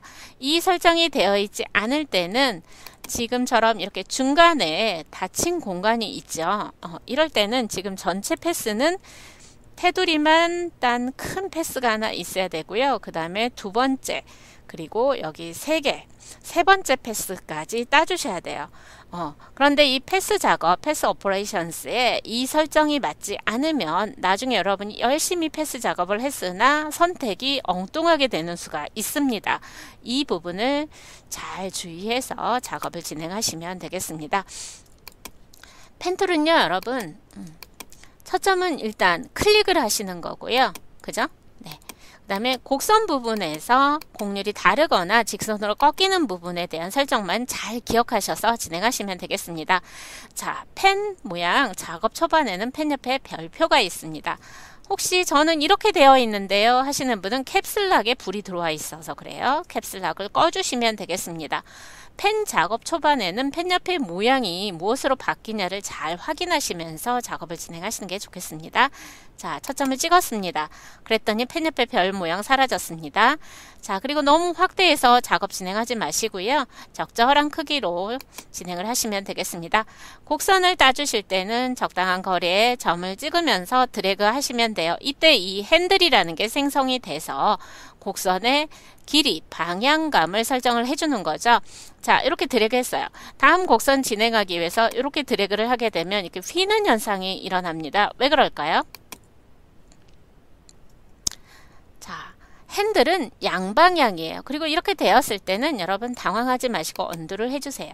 자, 그리고 이제 포인트는 뭐냐면 먼저 찍었던, 그러니까 드래그 했던 기준점 있죠. 이 anchor point에 마우스 끝을 맞추시고요. Alt를 눌러주시는 거예요. Alt 눌러서 펜 옆에 꺽쇠 모양이 나왔을 때 클릭해줘요. 그러면 한쪽 방향의 핸들이 사라지죠. 자, 이 상태에서 여러분이 어, 다음 진행하고자 하는 모양대로 따주시면 되겠고요. 자, 점의 위치가 안 맞았어요. 이럴 때는 Ctrl 키 누르면서 이렇게 Direct Selection, 직접 선택 도구가 나왔을 때 이 점들 이동 가능하실 거고요. 핸들도 조정이 가능합니다. 어, 그래서 처음부터 제대로 되지 않는다고 해서 여러분 절대 당황하거나 포기하지 마십시오. 자, 그래서 이렇게 진행해서 가장자리 부분을 한 바퀴 쭉 따서 어, 완료된 패스를 완성을 하셔야 돼요. 완료된 패스라는 것은 뭐냐면요. 자, 제가 처음에 찍었던 점에 이렇게 펜 모양 가져다 대보면 펜 옆에 동그라미 뜨죠. 이때 클릭해야지 이게 닫힌 path, 완료된 path가 된다라는 겁니다. 자, 시간 관계상 path 작업을 미리 해놨는데요.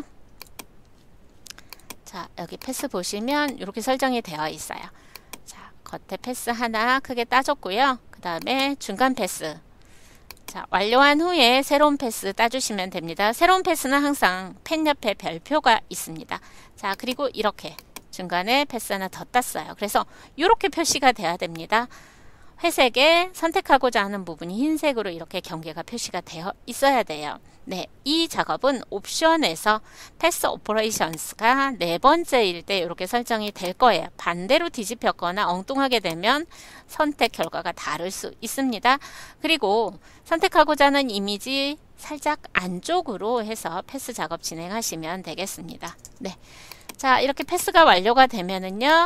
자, 컨트롤 엔터를 눌러 주십시오. 그러면 패스 선을 따라서 이렇게 선택으로 불려집니다.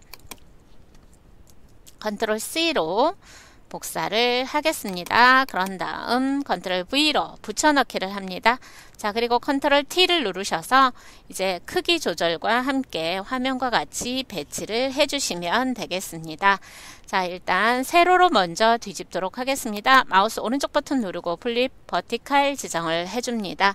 자 쉬프트를 누르면서 모서리 조절점을 드래그해서 크기와 그 다음에 위치 맞춰주도록 하겠습니다. 쉬프트는 여러분 드래그 할 때 끝까지 눌러주시는 게 종횡비가 유지가 되겠습니다.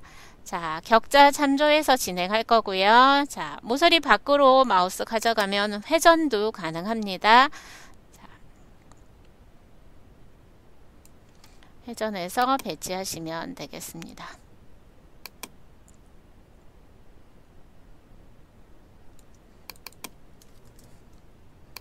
자, 엔터 누르거나 조절점 안쪽 더블 클릭하시면 됩니다.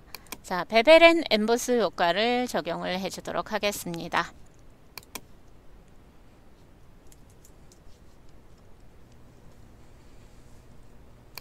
1급-15번 이미지를 열고요.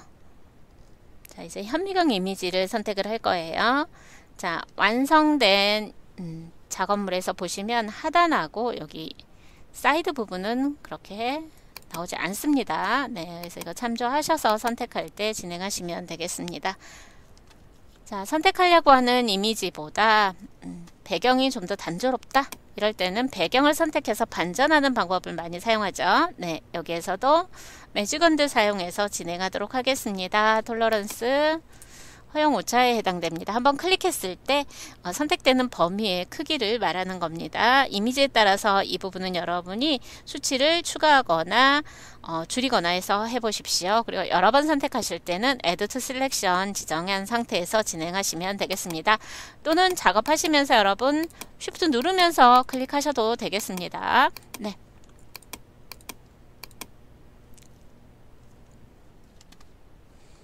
자 이제 이 과정에서 여러분 이 레지건드로 끝까지 하려고 하지 마시고요. 다른 툴, 선택 도구의 도움도 받으셔도 돼요. 자, 사각형으로 to Selection 지정해서요. 저는 이런 부분들 있죠. 이렇게 드래그가 가능한 부분들은 그냥 이렇게 선택해서 빼도록 하겠습니다. 네. 선택이 추가되는 거죠. 지금은요. 네. 하단도 이렇게 해서 이렇게 해주시고요. 네, 선택을 반전하겠습니다. Select Inverse, Ctrl C 눌러줍니다. 이때 이렇게 선택이 제외되지 않은 부분들이 있을 수 있죠. 자, 추가의 반대 빼는 겁니다. Alt 누르면 빼기 기능 가능합니다. Ctrl C 눌러서 복사합니다. 그리고 작업 이미지로 와서 컨트롤 V 붙여 넣으시고요. 컨트롤 T를 눌러서 자 여기에서도 보시면 좌우가 바뀌어 있죠. 마우스 오른쪽 버튼 누르고 Flip Horizontal 지정해 줍니다. 자 그런 다음 쉬프트를 누르시고요. 종횡비에 맞게 크기 맞춰 주시는 거예요. 여러분 이거 눈대중으로 하지 마시고요. 반드시 쉬프트를 끝까지 눌러 주세요. 네. 전체적으로 완성이 되었으나 약간 어색한 부분이 발생할 수 있는 것 중에 하나가 종횡비를 유지하지 않은 채 작업을 진행하는 겁니다. 자, 여러분의 눈대중보다 쉬프트가 정확합니다. 네. 자, 쉬프트 누르면서 드래그 해주시고요.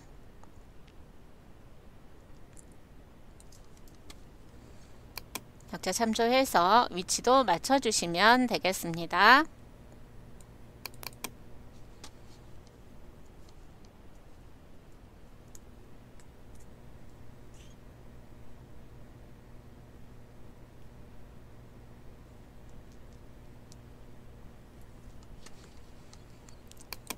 그런 다음 필터 적용하도록 하겠습니다. 필터는요. Dry Brush를 설정해 줍니다. Dry Brush는 Artistic에 Dry Brush 있습니다. 네. 저장을 해주시면 되겠고요. 자 여기에 Outer Glow 효과 적용하도록 하겠습니다. 레이어 패널 하단에 FX 눌러서 Outer Glow 적용하시면 되겠습니다.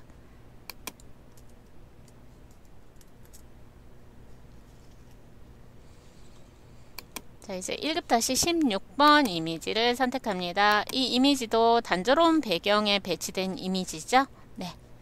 자 이때는 선택을 배경을 선택하고 반전하시라고 말씀드렸어요. 네.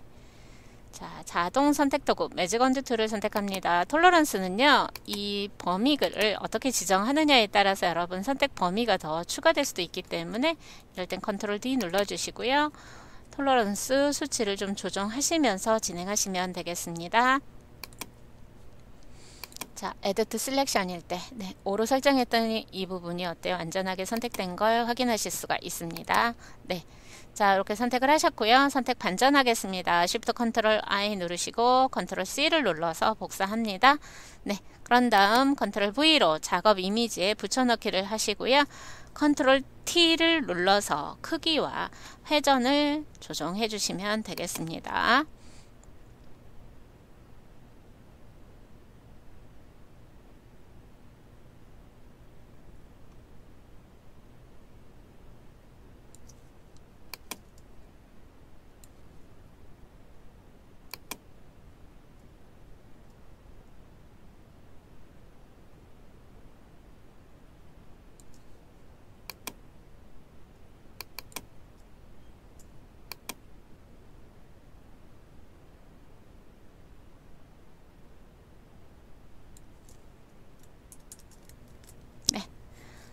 저장하면서 진행해 주십시오. 자, 여기에 레이어 스타일은 Bevel and Emboss가 적용이 되어 있습니다. 경사와 Emboss 클릭하시고요.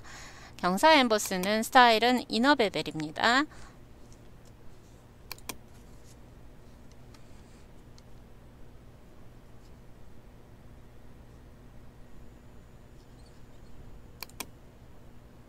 네, 자 그리고 Stroke도 적용이 되어 있네요.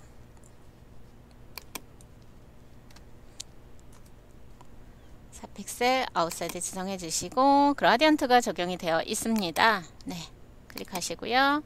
Gradient Editor를 설정을 하십시오. 네, 자 여기에서 Basic 부분에서 기본 설정으로 바꿔놓고 진행하셔도 되겠습니다. 왼쪽은 자 오른쪽 컬러는 흰색이 되겠습니다. 흰색일 땐 여러분 이렇게 왼쪽 상단 클릭하시면 된다고 말씀드렸어요. 네. 자, Linear 90도 설정하고 진행하시면 되겠네요.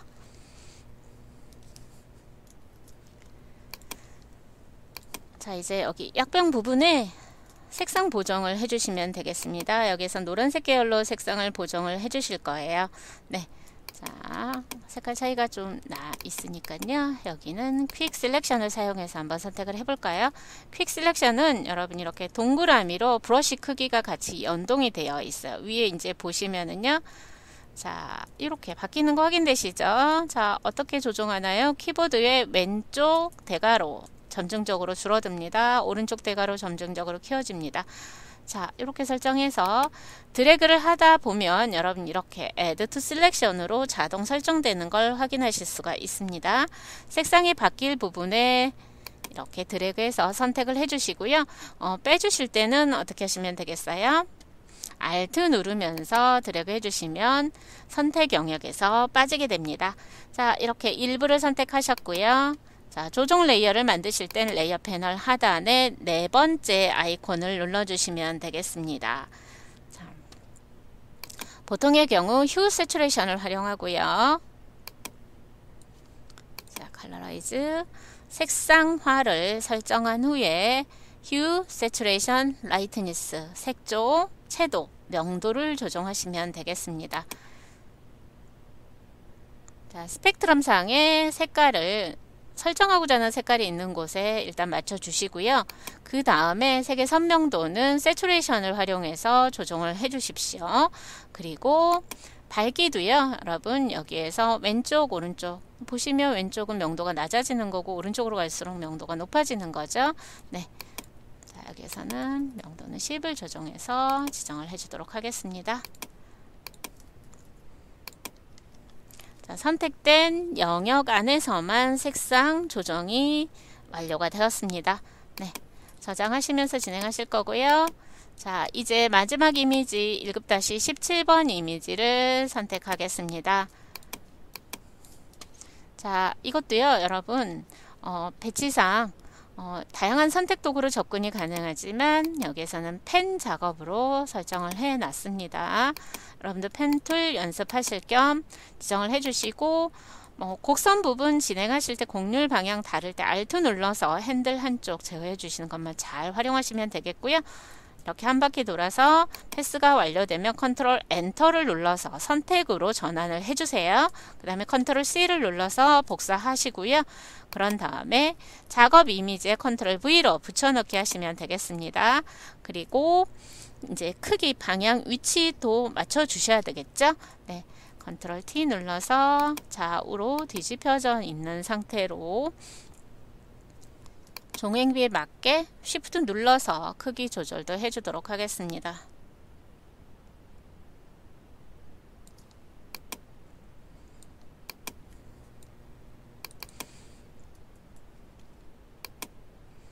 자, 지금 배치될 때 위치를 한번 보십시오. 네, layer상 배열을 아래 위로 조정할 때 컨트롤 누르고 왼쪽 대괄호 눌러서 뒤로 보내기 가능하시고 오른쪽 대괄호는 앞으로 가져오기 가능하다고 말씀드렸어요. layer 상에서 여러분 위아래로 layer 패널에서 드래그 하셔서 조정하셔도 되겠습니다.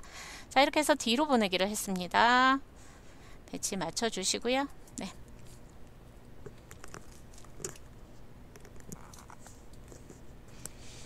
자, 마지막 이미지에는 layer style이 적용이 안 되고 변형만 하는 상태로 마무리를 하시면 되겠습니다. 자, 이제 모양 생성하고 변형하고 layer style 적용해 보도록 하겠습니다. 자, 여기 보시면 이렇게 information I에 해당되는 모양이 있는 거 확인되시죠? 네. custom shape tool을 선택을 하겠습니다. 자, 그리고 이 형태를 찾으시면 되겠죠? 네. 자, 상단에 보시면 어, 이런 식으로 여러분 찾아 들어가죠. 어, legacy shapes and more 클릭하시고요. all legacy default shapes를 확장해서 여러분이 찾고자 하는 형태가 있는 카테고리로 들어가시면 되겠습니다. 여기에선 symbol에 있습니다. 자, 이 부분은요, 여러분 시간이 나실 때 항상 이렇게 눈으로 익히시면서 어떤 형태가, 어떤 모양이 어디에 있는지를 찾아 들어가시는 연습을 하시면 시험 보실 때 훨씬 도움이 되겠습니다.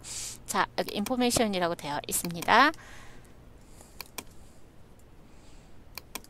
쉬프트 누르면서 드래그해서 그리도록 하겠습니다. 네. 자, 여기도 배치 맞춰주셔야 되겠죠? layer 배열 맞춰주셔야 됩니다. 그래서 컨트롤 누르면서 뒤로 보내기 해서 어, 진행하도록 하겠습니다. 네. 자, 그리고 layer thumbnail을 더블 클릭해서 색상 지정해 주십시오.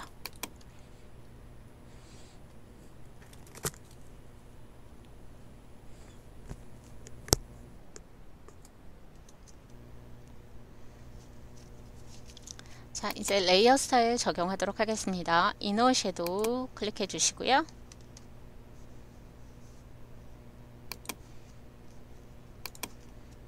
layer의 opacity는 70%로 설정을 하도록 하겠습니다.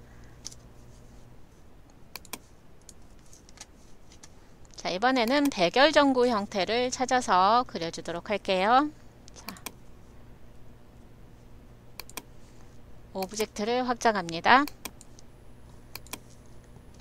두 번째 형태 클릭하시고요. 자, 여기에 Shift 누르면서 드래그해서 그리도록 하겠습니다. 자, Shift는요, 여러분 처음부터 누르지 마세요. 이렇게 연이어서 자, 먼저 그려놓은 모양에 이렇게 점들이 선택되어 있죠. Enter를 눌러서 선택을 풀어주시고요. 자, 두 번째 shape 그리실 때 자, 이렇게 드래그 하는 도중에 Shift 눌러서 종횡비를 유지를 해주도록 하겠습니다.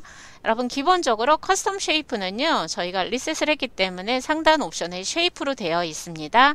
shape로 되어 있어야지만 layer 상에서 어때요? 이렇게 색깔이 있는 layer로 별도로 만들어지는 겁니다. 네. 색깔을 설정을 해주시고요. 네, 그런 다음에 layer style 적용하도록 하겠습니다. 여기도 outer glow가 적용이 되어 있습니다.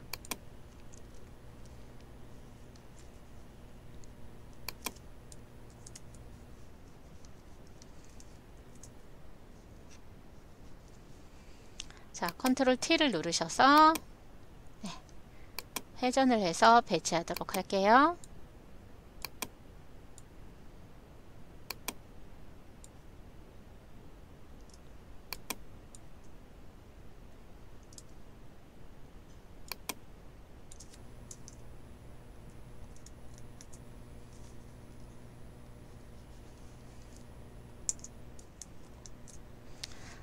Enter를 눌러서 현재 작업 완료를 지정을 해주시면 되겠습니다.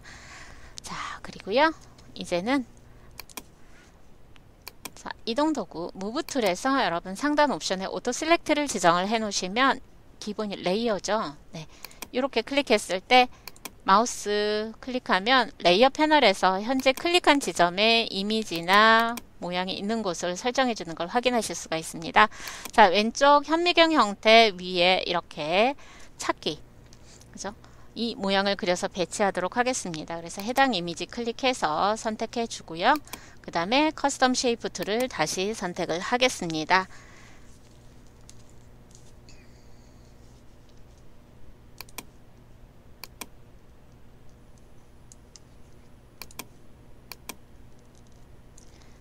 웹에 보시면 이렇게 돋보기 모양 있죠? 서치가 있습니다. 여기에서 클릭해서 자, 드래그 할때 Shift 눌러주세요.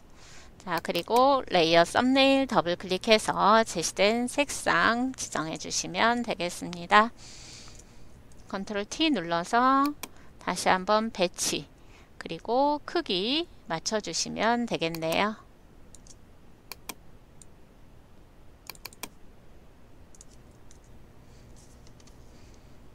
Opacity는 60%로 설정을 하겠습니다. 그리고 여기에 Drop Shadow 그림자 설정해 주시면 되겠습니다.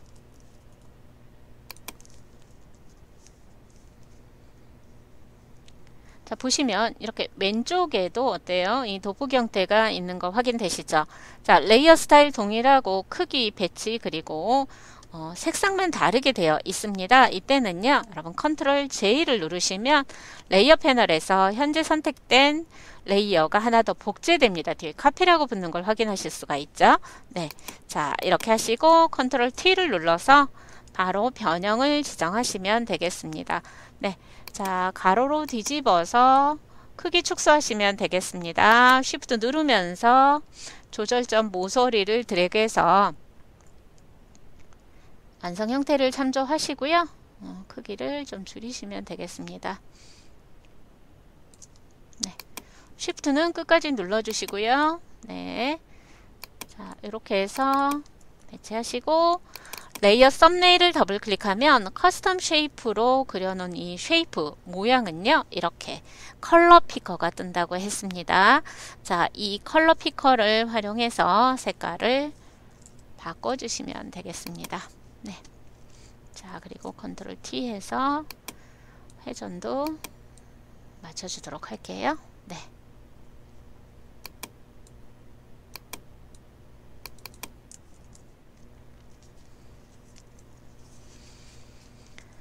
자 이제 패턴이 적용되어 있는 모양 펜 작업으로 정의된 부분입니다. 자 예, 출제되는 문제 유형에 따라 약간씩 다를 수가 있는데 어, 과거에는 Pen Tool로 모든 shape 모양을 그렸어요.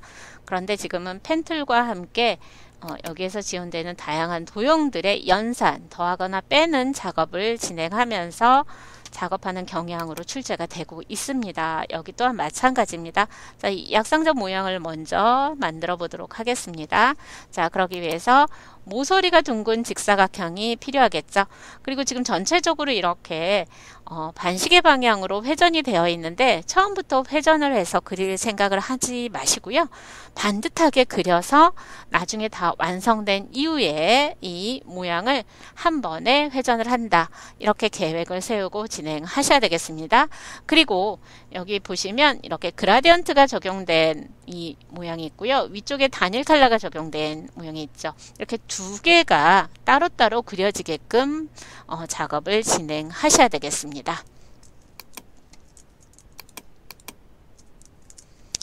자, 저장하고 자, 여기에선 Rounded Rectangle Tool을 선택합니다. 모서리가 둥근 직사각형을 선택하실 거고요. 자, 여기에 보시면 모서리 둥근 직사각형은 상단 옵션에 보시면 Radius라고 있어요. 이건 corner radius예요. 모서리를 얼마나 둥그렇게 지정을 할 것이냐. 그래서 이 둥근 정도는요. 수치가 크면 클수록 어때요? 모서리가 훨씬 더 둥글둥글해지겠죠. 그죠? 네. 그래서 격자 참조해서 자, 둥근 사각형을 그리도록 하겠습니다.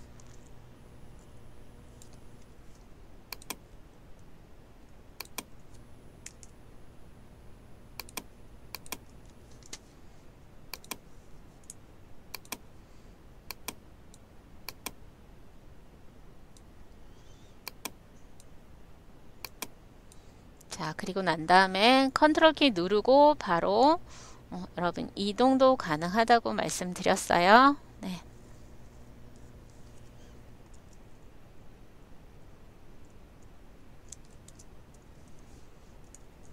사이즈를 살짝 줄여주도록 할게요.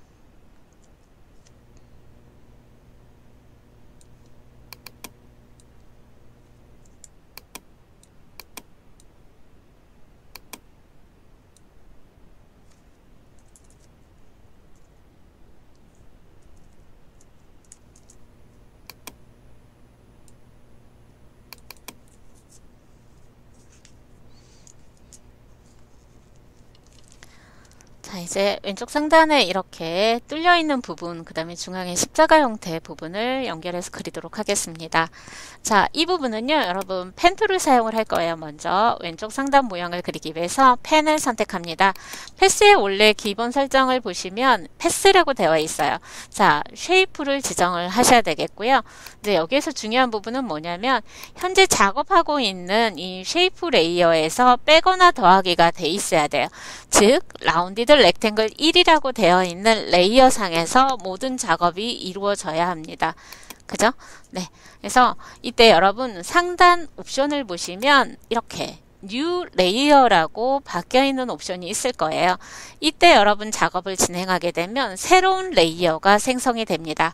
그게 아니고 기존에 그렸던 둥근 사각형의 일부를 빼내야 되기 때문에 여기에서 여러분 작업 진행하실 때 이 Subtract Front Shape이라고 하는 설정을 이제 유지를 하면서 진행을 해 주셔야 된다라는 거죠.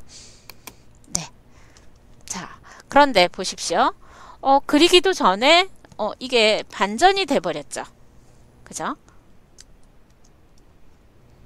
자, 주의할 게 있습니다. 이럴 땐 명령 취소를 하겠습니다.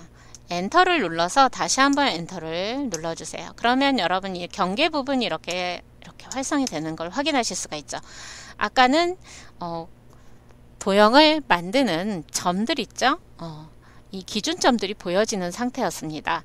네, 지금은 어때요? 위 옵션이 바뀌었는데도 불구하고 빠지는 부분은 없습니다. 그죠? 자, 여기에다가 이제 그려보도록 하겠습니다. 네. 클릭하고요. 자, 반듯하게 진행할 땐 Shift 눌러서 클릭해 주시면 되겠습니다. 자, 그 다음에 이렇게 드래그해서 곡선 부분을 그리실 거고요. 자, 이제 공간이 확보가 되니까 이렇게 뚫리는 부분이 보이는, 보이죠? 그죠? 네. 다시 Shift 누르고 클릭해 줍니다. 네. 그런 다음에 모양에 맞게 여기에서도 그려주도록 하겠습니다.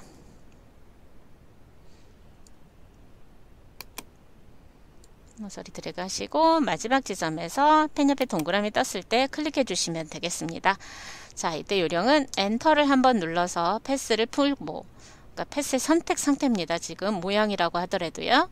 다시 한번 Enter를 눌러서 이렇게 활성을 해준 후에 작업 진행하시면 되겠습니다. 자, 십자가 모양은 굳이 Pen Tool로 그려줄 필요가 없겠죠. 사각형을 이용해서 그려보도록 하겠습니다. 자, 사각형에도 Shape일 때 위에 패스 오퍼레이션스의 기본값은 New Layer입니다. 이때 그리면 새 layer가 계속 올려지는 거예요. 네, 여기도 빼줄 거니까 Subtract Front Shape를 클릭합니다. 네, 자 그러면 십자 포인터 옆에 마이너스 표시가 있는 걸 확인하실 수가 있죠. 네, 이때 이렇게 드래그해서 직사각형을 그려주십시오. 자, 제대로 됐다면 이렇게 빠지는 형태가 나올 거예요. 그죠? 자, 이때도 여러분 Control T 누르셔서 어, 크기라든가 변형을 해주겠다 그러면 적용을 하시면 되겠습니다. 네. Enter를 한번 눌렀다가 다시 한번 눌러주시는 거 잊지 마십시오. 네. 자, 그리고 컨트롤 눌러서 클릭해 주시면 이렇게 Path Selection 나오는 걸 확인하실 수가 있습니다. 어, 이때도요, 여러분, 어, 굳이 내가 어, 이 tool 패널로 가서 선택하지 않아도 된다라는 거죠. 자, 그리고 이렇게 드래그해서 컨트롤 누른 채 드래그해서 원한다면 여기에서 align 정렬도 서로 맞춰 주실 수가 있습니다. 어, 가운데에 맞춰 주실 수 있어요. 자, 다시 선택 풀었다가 중앙에 직사각형만 클릭해서 선택을 하겠습니다. 컨트롤 C, 컨트롤 V 합니다. 그리고 컨트롤 T를 해서 마우스 오른쪽 버튼 누르고 90도 회전하게 되면 어때요? 중앙에 이렇게 컨트롤 C로 복사된 직사각형이 제자리에 붙여넣기가 되어 있는 상태에서 컨트롤 T를 해서 회전하게 되면 이런 형태가 나옵니다. 음. 이렇게 기존에 그렸던 곳에서 빼주는 이 속성을 그대로 유지하면서 복사해서 붙여넣기가 가능하다라는 거예요. 아시겠죠? 네. 자, 이렇게 됐으면 이제 이 부분을 정리를 먼저 해줄 거예요. 네. 자, 정리하실 땐 지금 shape에 관련된 도구가 선택되어 있고 옵션 바에 패스 오퍼레이션스에 보시면은요. 현재 설정에 관련된 연산이 나와 있어요. 뺐다는 거죠. 네. 그리고 맨 아래쪽에 Merge Shape Component라고 있습니다. 이거는 모양 병합 구성 요소라고 한글에서는 표기될 거예요. 자, 클릭합니다. 자, 이렇게 되면 우리가 어, 둥근 사각형 그리고 Pen Tool로 그린 형태 그리고 직사각형 두 개 겹친 총 4개로 작업을 했지만 이제 하나로 완벽하게 병합이 됐다라고 이해하시면 되겠습니다. 이해하시죠? 네. 자, 그 다음에 Layer Style 적용하도록 하겠습니다. 여기에 Layer Style은 Gradient Overlay가 적용이 되어 있네요. 그라디언트 에디터 설정하시고 색상 세팅해 주도록 하겠습니다.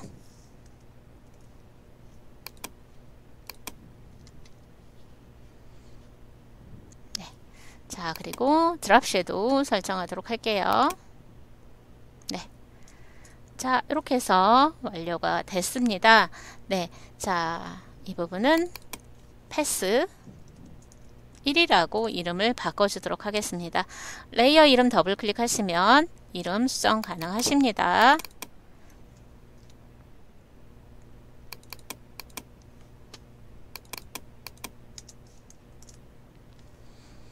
자 이제 손잡이에 해당되는 부분을 연결해서 그리도록 하겠습니다. 자 Path 상태 풀어주셔야 돼요. 엔터 두 번 눌러서 풀어주시고요. 자 이제 여기에서도 모서리 둥근 사각형을 먼저 그린 후에 진행하시면 되겠습니다. 자 보시면은요 모서리 둥근 사각형 바깥쪽 안쪽 그 다음에 또 사각형 형태도 추적이 되죠 네 자 Rounded Rectangle Tool을 선택합니다 이번에는 Radius를 10으로 설정해서 진행하도록 하겠습니다 네.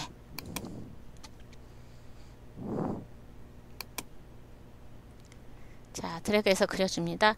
어, 여기에서 그려지는 형태는 여러분 뭐가 되겠어요? 새로운 layer에 그려지는 형태가 되겠죠? 네. 이렇게 새 layer에서 그려지고 있습니다. 자, layer도 보시면 이렇게 별개 layer로 이렇게 층이 이루어지는 걸 확인하실 수가 있습니다. 네.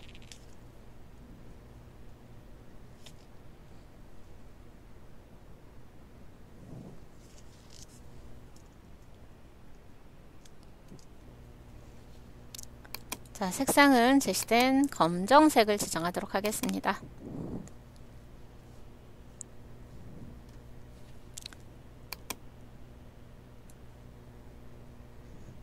자, 그리고 손잡이 이 좌우 부분을 만들기 위해서 사각형을 선택을 해줍니다. 그리고 동일한 layer에 계속해서 작업이 진행이 돼야 됩니다.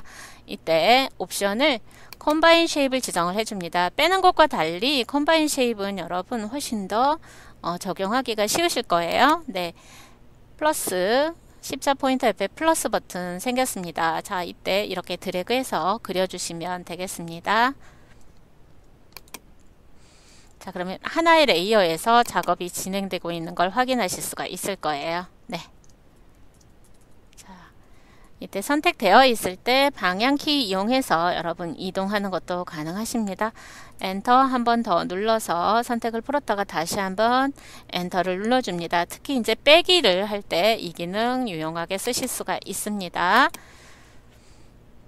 자, 다시 한번 모서리가 둥근 사각형을 그릴 텐데 이번에는 corner Radius를 5로 설정을 하고 자, 기존에 그렸던 형태에서 빼줄 겁니다. Subtract Front Shape을 지정을 하겠습니다. 십자 포인터 옆에 마이너스인지 확인을 해주시고요. 이 손잡이 부분에 어, 모서리 둥근 정도를 좀 달리해서 만들기 위해서 Radius를 5로 설정을 했습니다. 네. 자, 컨트롤 누르고 방향키 이용해서 바로 이렇게 이동도 가능하겠습니다.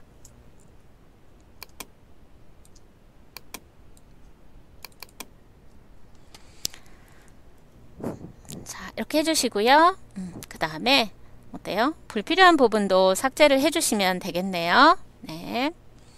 자 지금 빼는 옵션이 되어 있고 이렇게 점이 선택 안 되어 있을 때 설정을 해 주십시오. 자 훨씬 넉넉하게 그려서 하단의 불필요한 부분을 완전히 덮도록 하겠습니다. 네. 자, 이 빼고 더하는 연산은요, 어, 여러분, 포, 어, 포토샵에서도 이렇게 활용이 되는 부분이잖아요. 자, 일러스트 작업하신 분들도 어, 아실 거예요. 그죠? 어, Pathfinder에서 설정하는 방법과 어, 비슷합니다. 어, 활용해서 적용하시면 되겠습니다. 자, Path Selection으로 도형들을 선택을 해줍니다. 그런 다음에 옵션에서 align에 가로 가운데 정렬을 지정을 한 다음에 그 다음에 어때요? 하나로 또 병합을 해주시면 되겠습니다. 병합할 때 Merge Shape Component를 클릭해서 병합을 해주십시오. 네. 자, 그러면 따로따로 이제 선택은 안 되는 상태가 됩니다. 음. 아시겠죠? 네. 자, 이렇게 작업을 했고요. 자, 여기에서도 여러분 모양을 조금 더 편집을 해야겠다라고 하실 땐 Direct Selection Tool로 이렇게 어, 점들을 선택해서요. 이렇게 수정도 하실 수가 있습니다. 네.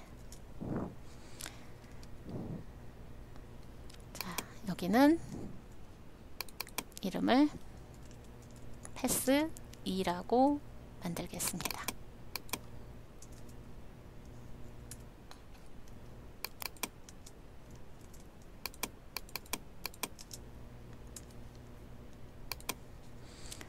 여기도 드랍 섀도우를 적용을 해주시면 되겠습니다.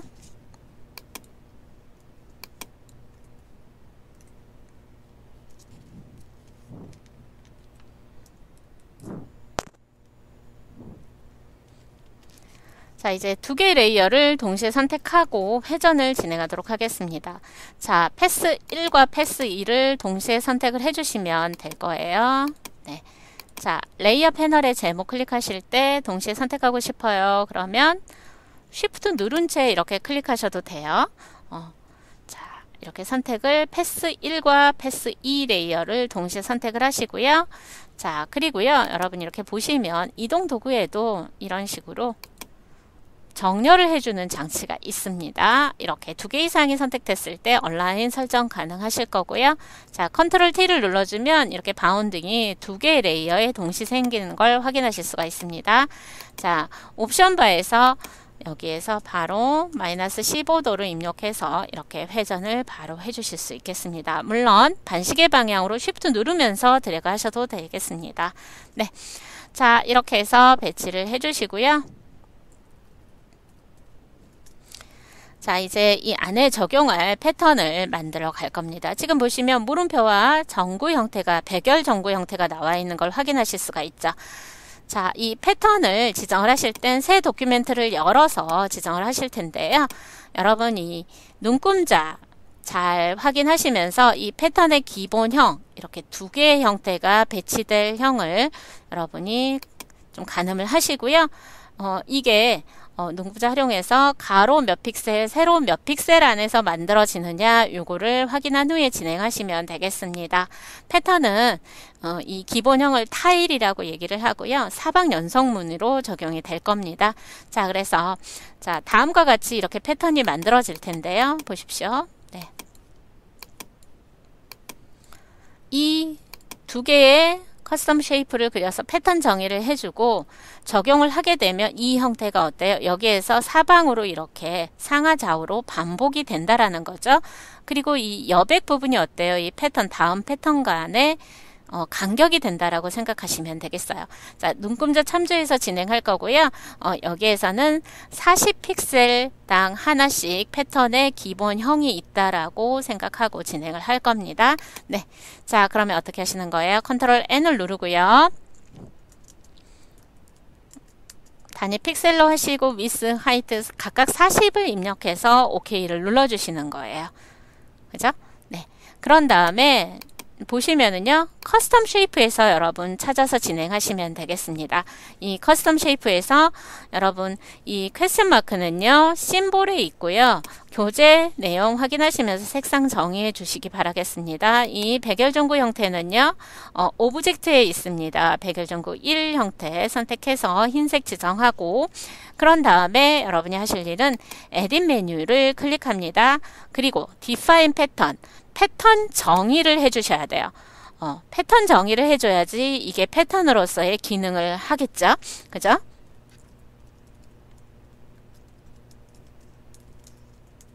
물음표와 전구라고 설정하겠습니다. 네. 자, 그리고 작업 이미지로 옵니다. 자, 여기에서 보시면 어때요? 자, 이 구급약 가방 하단에만 패턴이 적용되어 있는 걸 확인하실 수가 있고 그죠? 네. 자, 여기에 적용하기 위해서 무엇을 활용할 거냐면 layer를 새로 그리셔야 됩니다. 만드셔야 돼요. 네, 자 어디에?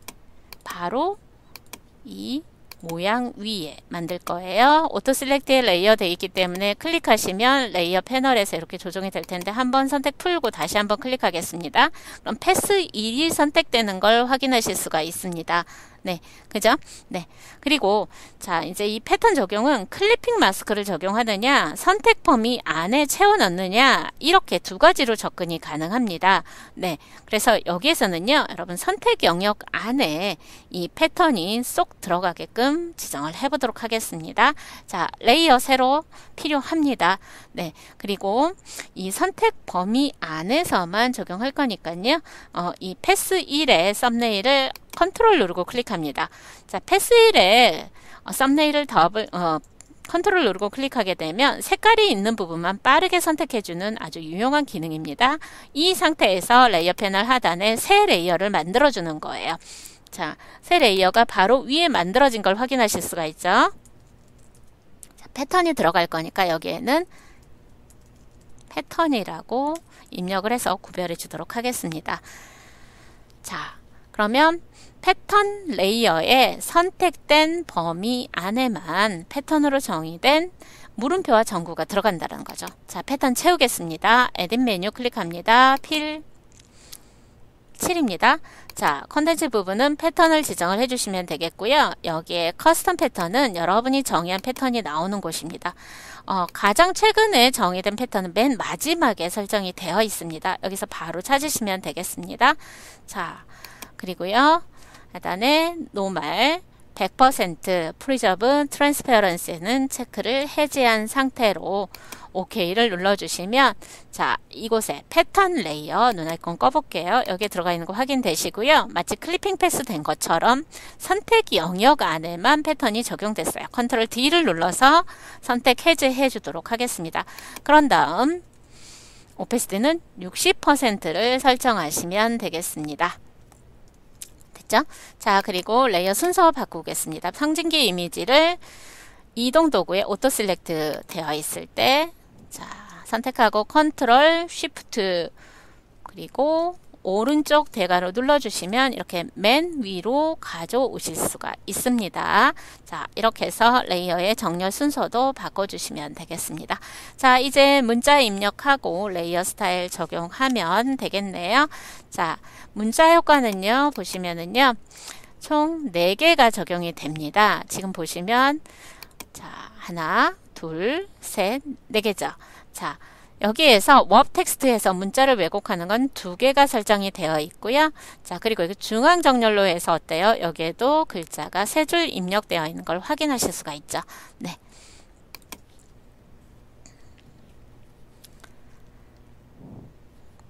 자, 일단 맨 위에 설정 한번 보도록 하겠습니다. 자, Horizontal Type Tool을 선택해 주시고요. 자, Arial Bold 16포인트 지정하라고 나와 있지요. 이 설정 따라서 해주시고 색상은요, 여러분 제시된 컬러 설정하시면 되겠습니다.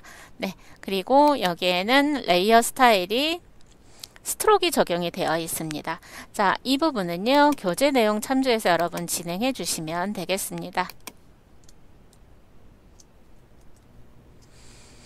자, 그리고 의약품 통합 정보 시스템 또한 여러분 돋움 45포인트 그리고 한글을 조금 굵직하게 표현하기 위해서 Strong을 지정을 해줬습니다. 네, 그리고 Warp Text 부분을 보시면 Fish라고 되어 있죠. 네, PC 그리고 40%를 설정해서 글자를 왜곡을 해주시면 되겠고요. Layer에서 보시면 이 글자에는 제시된 효과 Stroke, Gradient Overlay, 어, 그 다음에 Drop Shadow가 적용된 걸 확인하실 수가 있습니다. 자, 이 부분은 뭐 앞서 진행한 부분들도 여러분이 계속 반복을 해 주셨던 부분이기 때문에 어, 그대로 가져가서 진행하도록 하겠습니다.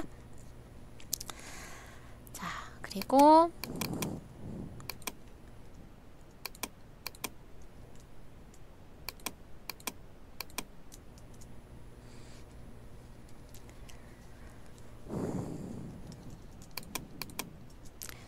자, 여기 이 글자 부분도요. 어, 여러분 어때요? 어, 설정을 보시면 궁서입니다. 궁서 17포인트 스트롱으로 지정을 했고요. 가운데 정렬로 했습니다. 그리고 글자의 컬러가 일부 다릅니다. 그죠? 자, 입력한 후에 해당되는 부분만 옵션에서 색상을 다시 지정을 해주시면 되겠습니다. 네.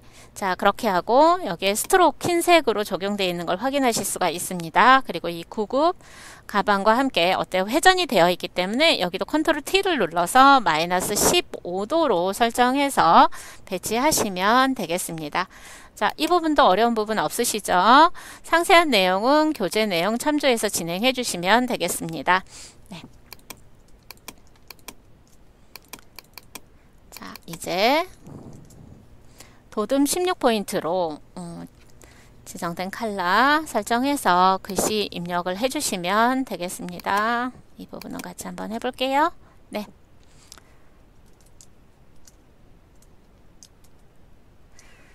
자, 맨 앞으로 가져오셔야 되고요. 네. 맨 위에 Layer 선택하고 작업 진행하셔도 되겠습니다. 네, 보시면 돋움 16포인트 굵게 표현하기 위해서 Strong 지정해줬습니다. 색깔 지정해 주시고 그 다음에 음, Warp Text는요. 자, 위로 휘어지는 효과죠. 네. 그래서 Arc 50%를 설정을 했습니다. 자, 그리고 Layer Style은요. 여기 보시면 Stroke 획을 지정을 했습니다. 이 픽셀 적용하시고 단일 컬러니까 컬러 지정해서 Color Picker에서 해당 컬러 입력을 해주시면 되겠고요. 자, 다 완성됐을 때 Control T를 누르시고요. 자, 이렇게 반시계 방향으로 마이너스 30도 지정하시면 되겠습니다. 옵션 바에서 마이너스 30 입력하셔도 되고요. Shift 누른 채 드래그 하시면 포토샵은 15도 단위로 스텝이 설정이 되어 있습니다. 그래서 어, 툭툭 끊어지면서 어, 옵션에 어, tooltip이 나오기 때문에 이거 활용해서 진행하시면 되겠습니다. 자 이렇게 해서 마무리를 하시면 되겠고요. 최종적인 저장과 함께 격자를 가려 주십시오. 자 그리고 저장 규칙에 의해서 JPEG과 PSD로 저장을 하겠습니다. 자 어디에 내 PC 문서 GTQ입니다. 여기에 저장을 합니다. 네, JPG 설정하고 Quality는 8 설정해서 저장을 합니다. 10분의 1로 Image Size 줄이겠습니다. 다시 한번 Save As를 통해서 내 PC 문서에 GTQ 폴더에 저장을 하시면 되겠습니다. 수고하셨습니다.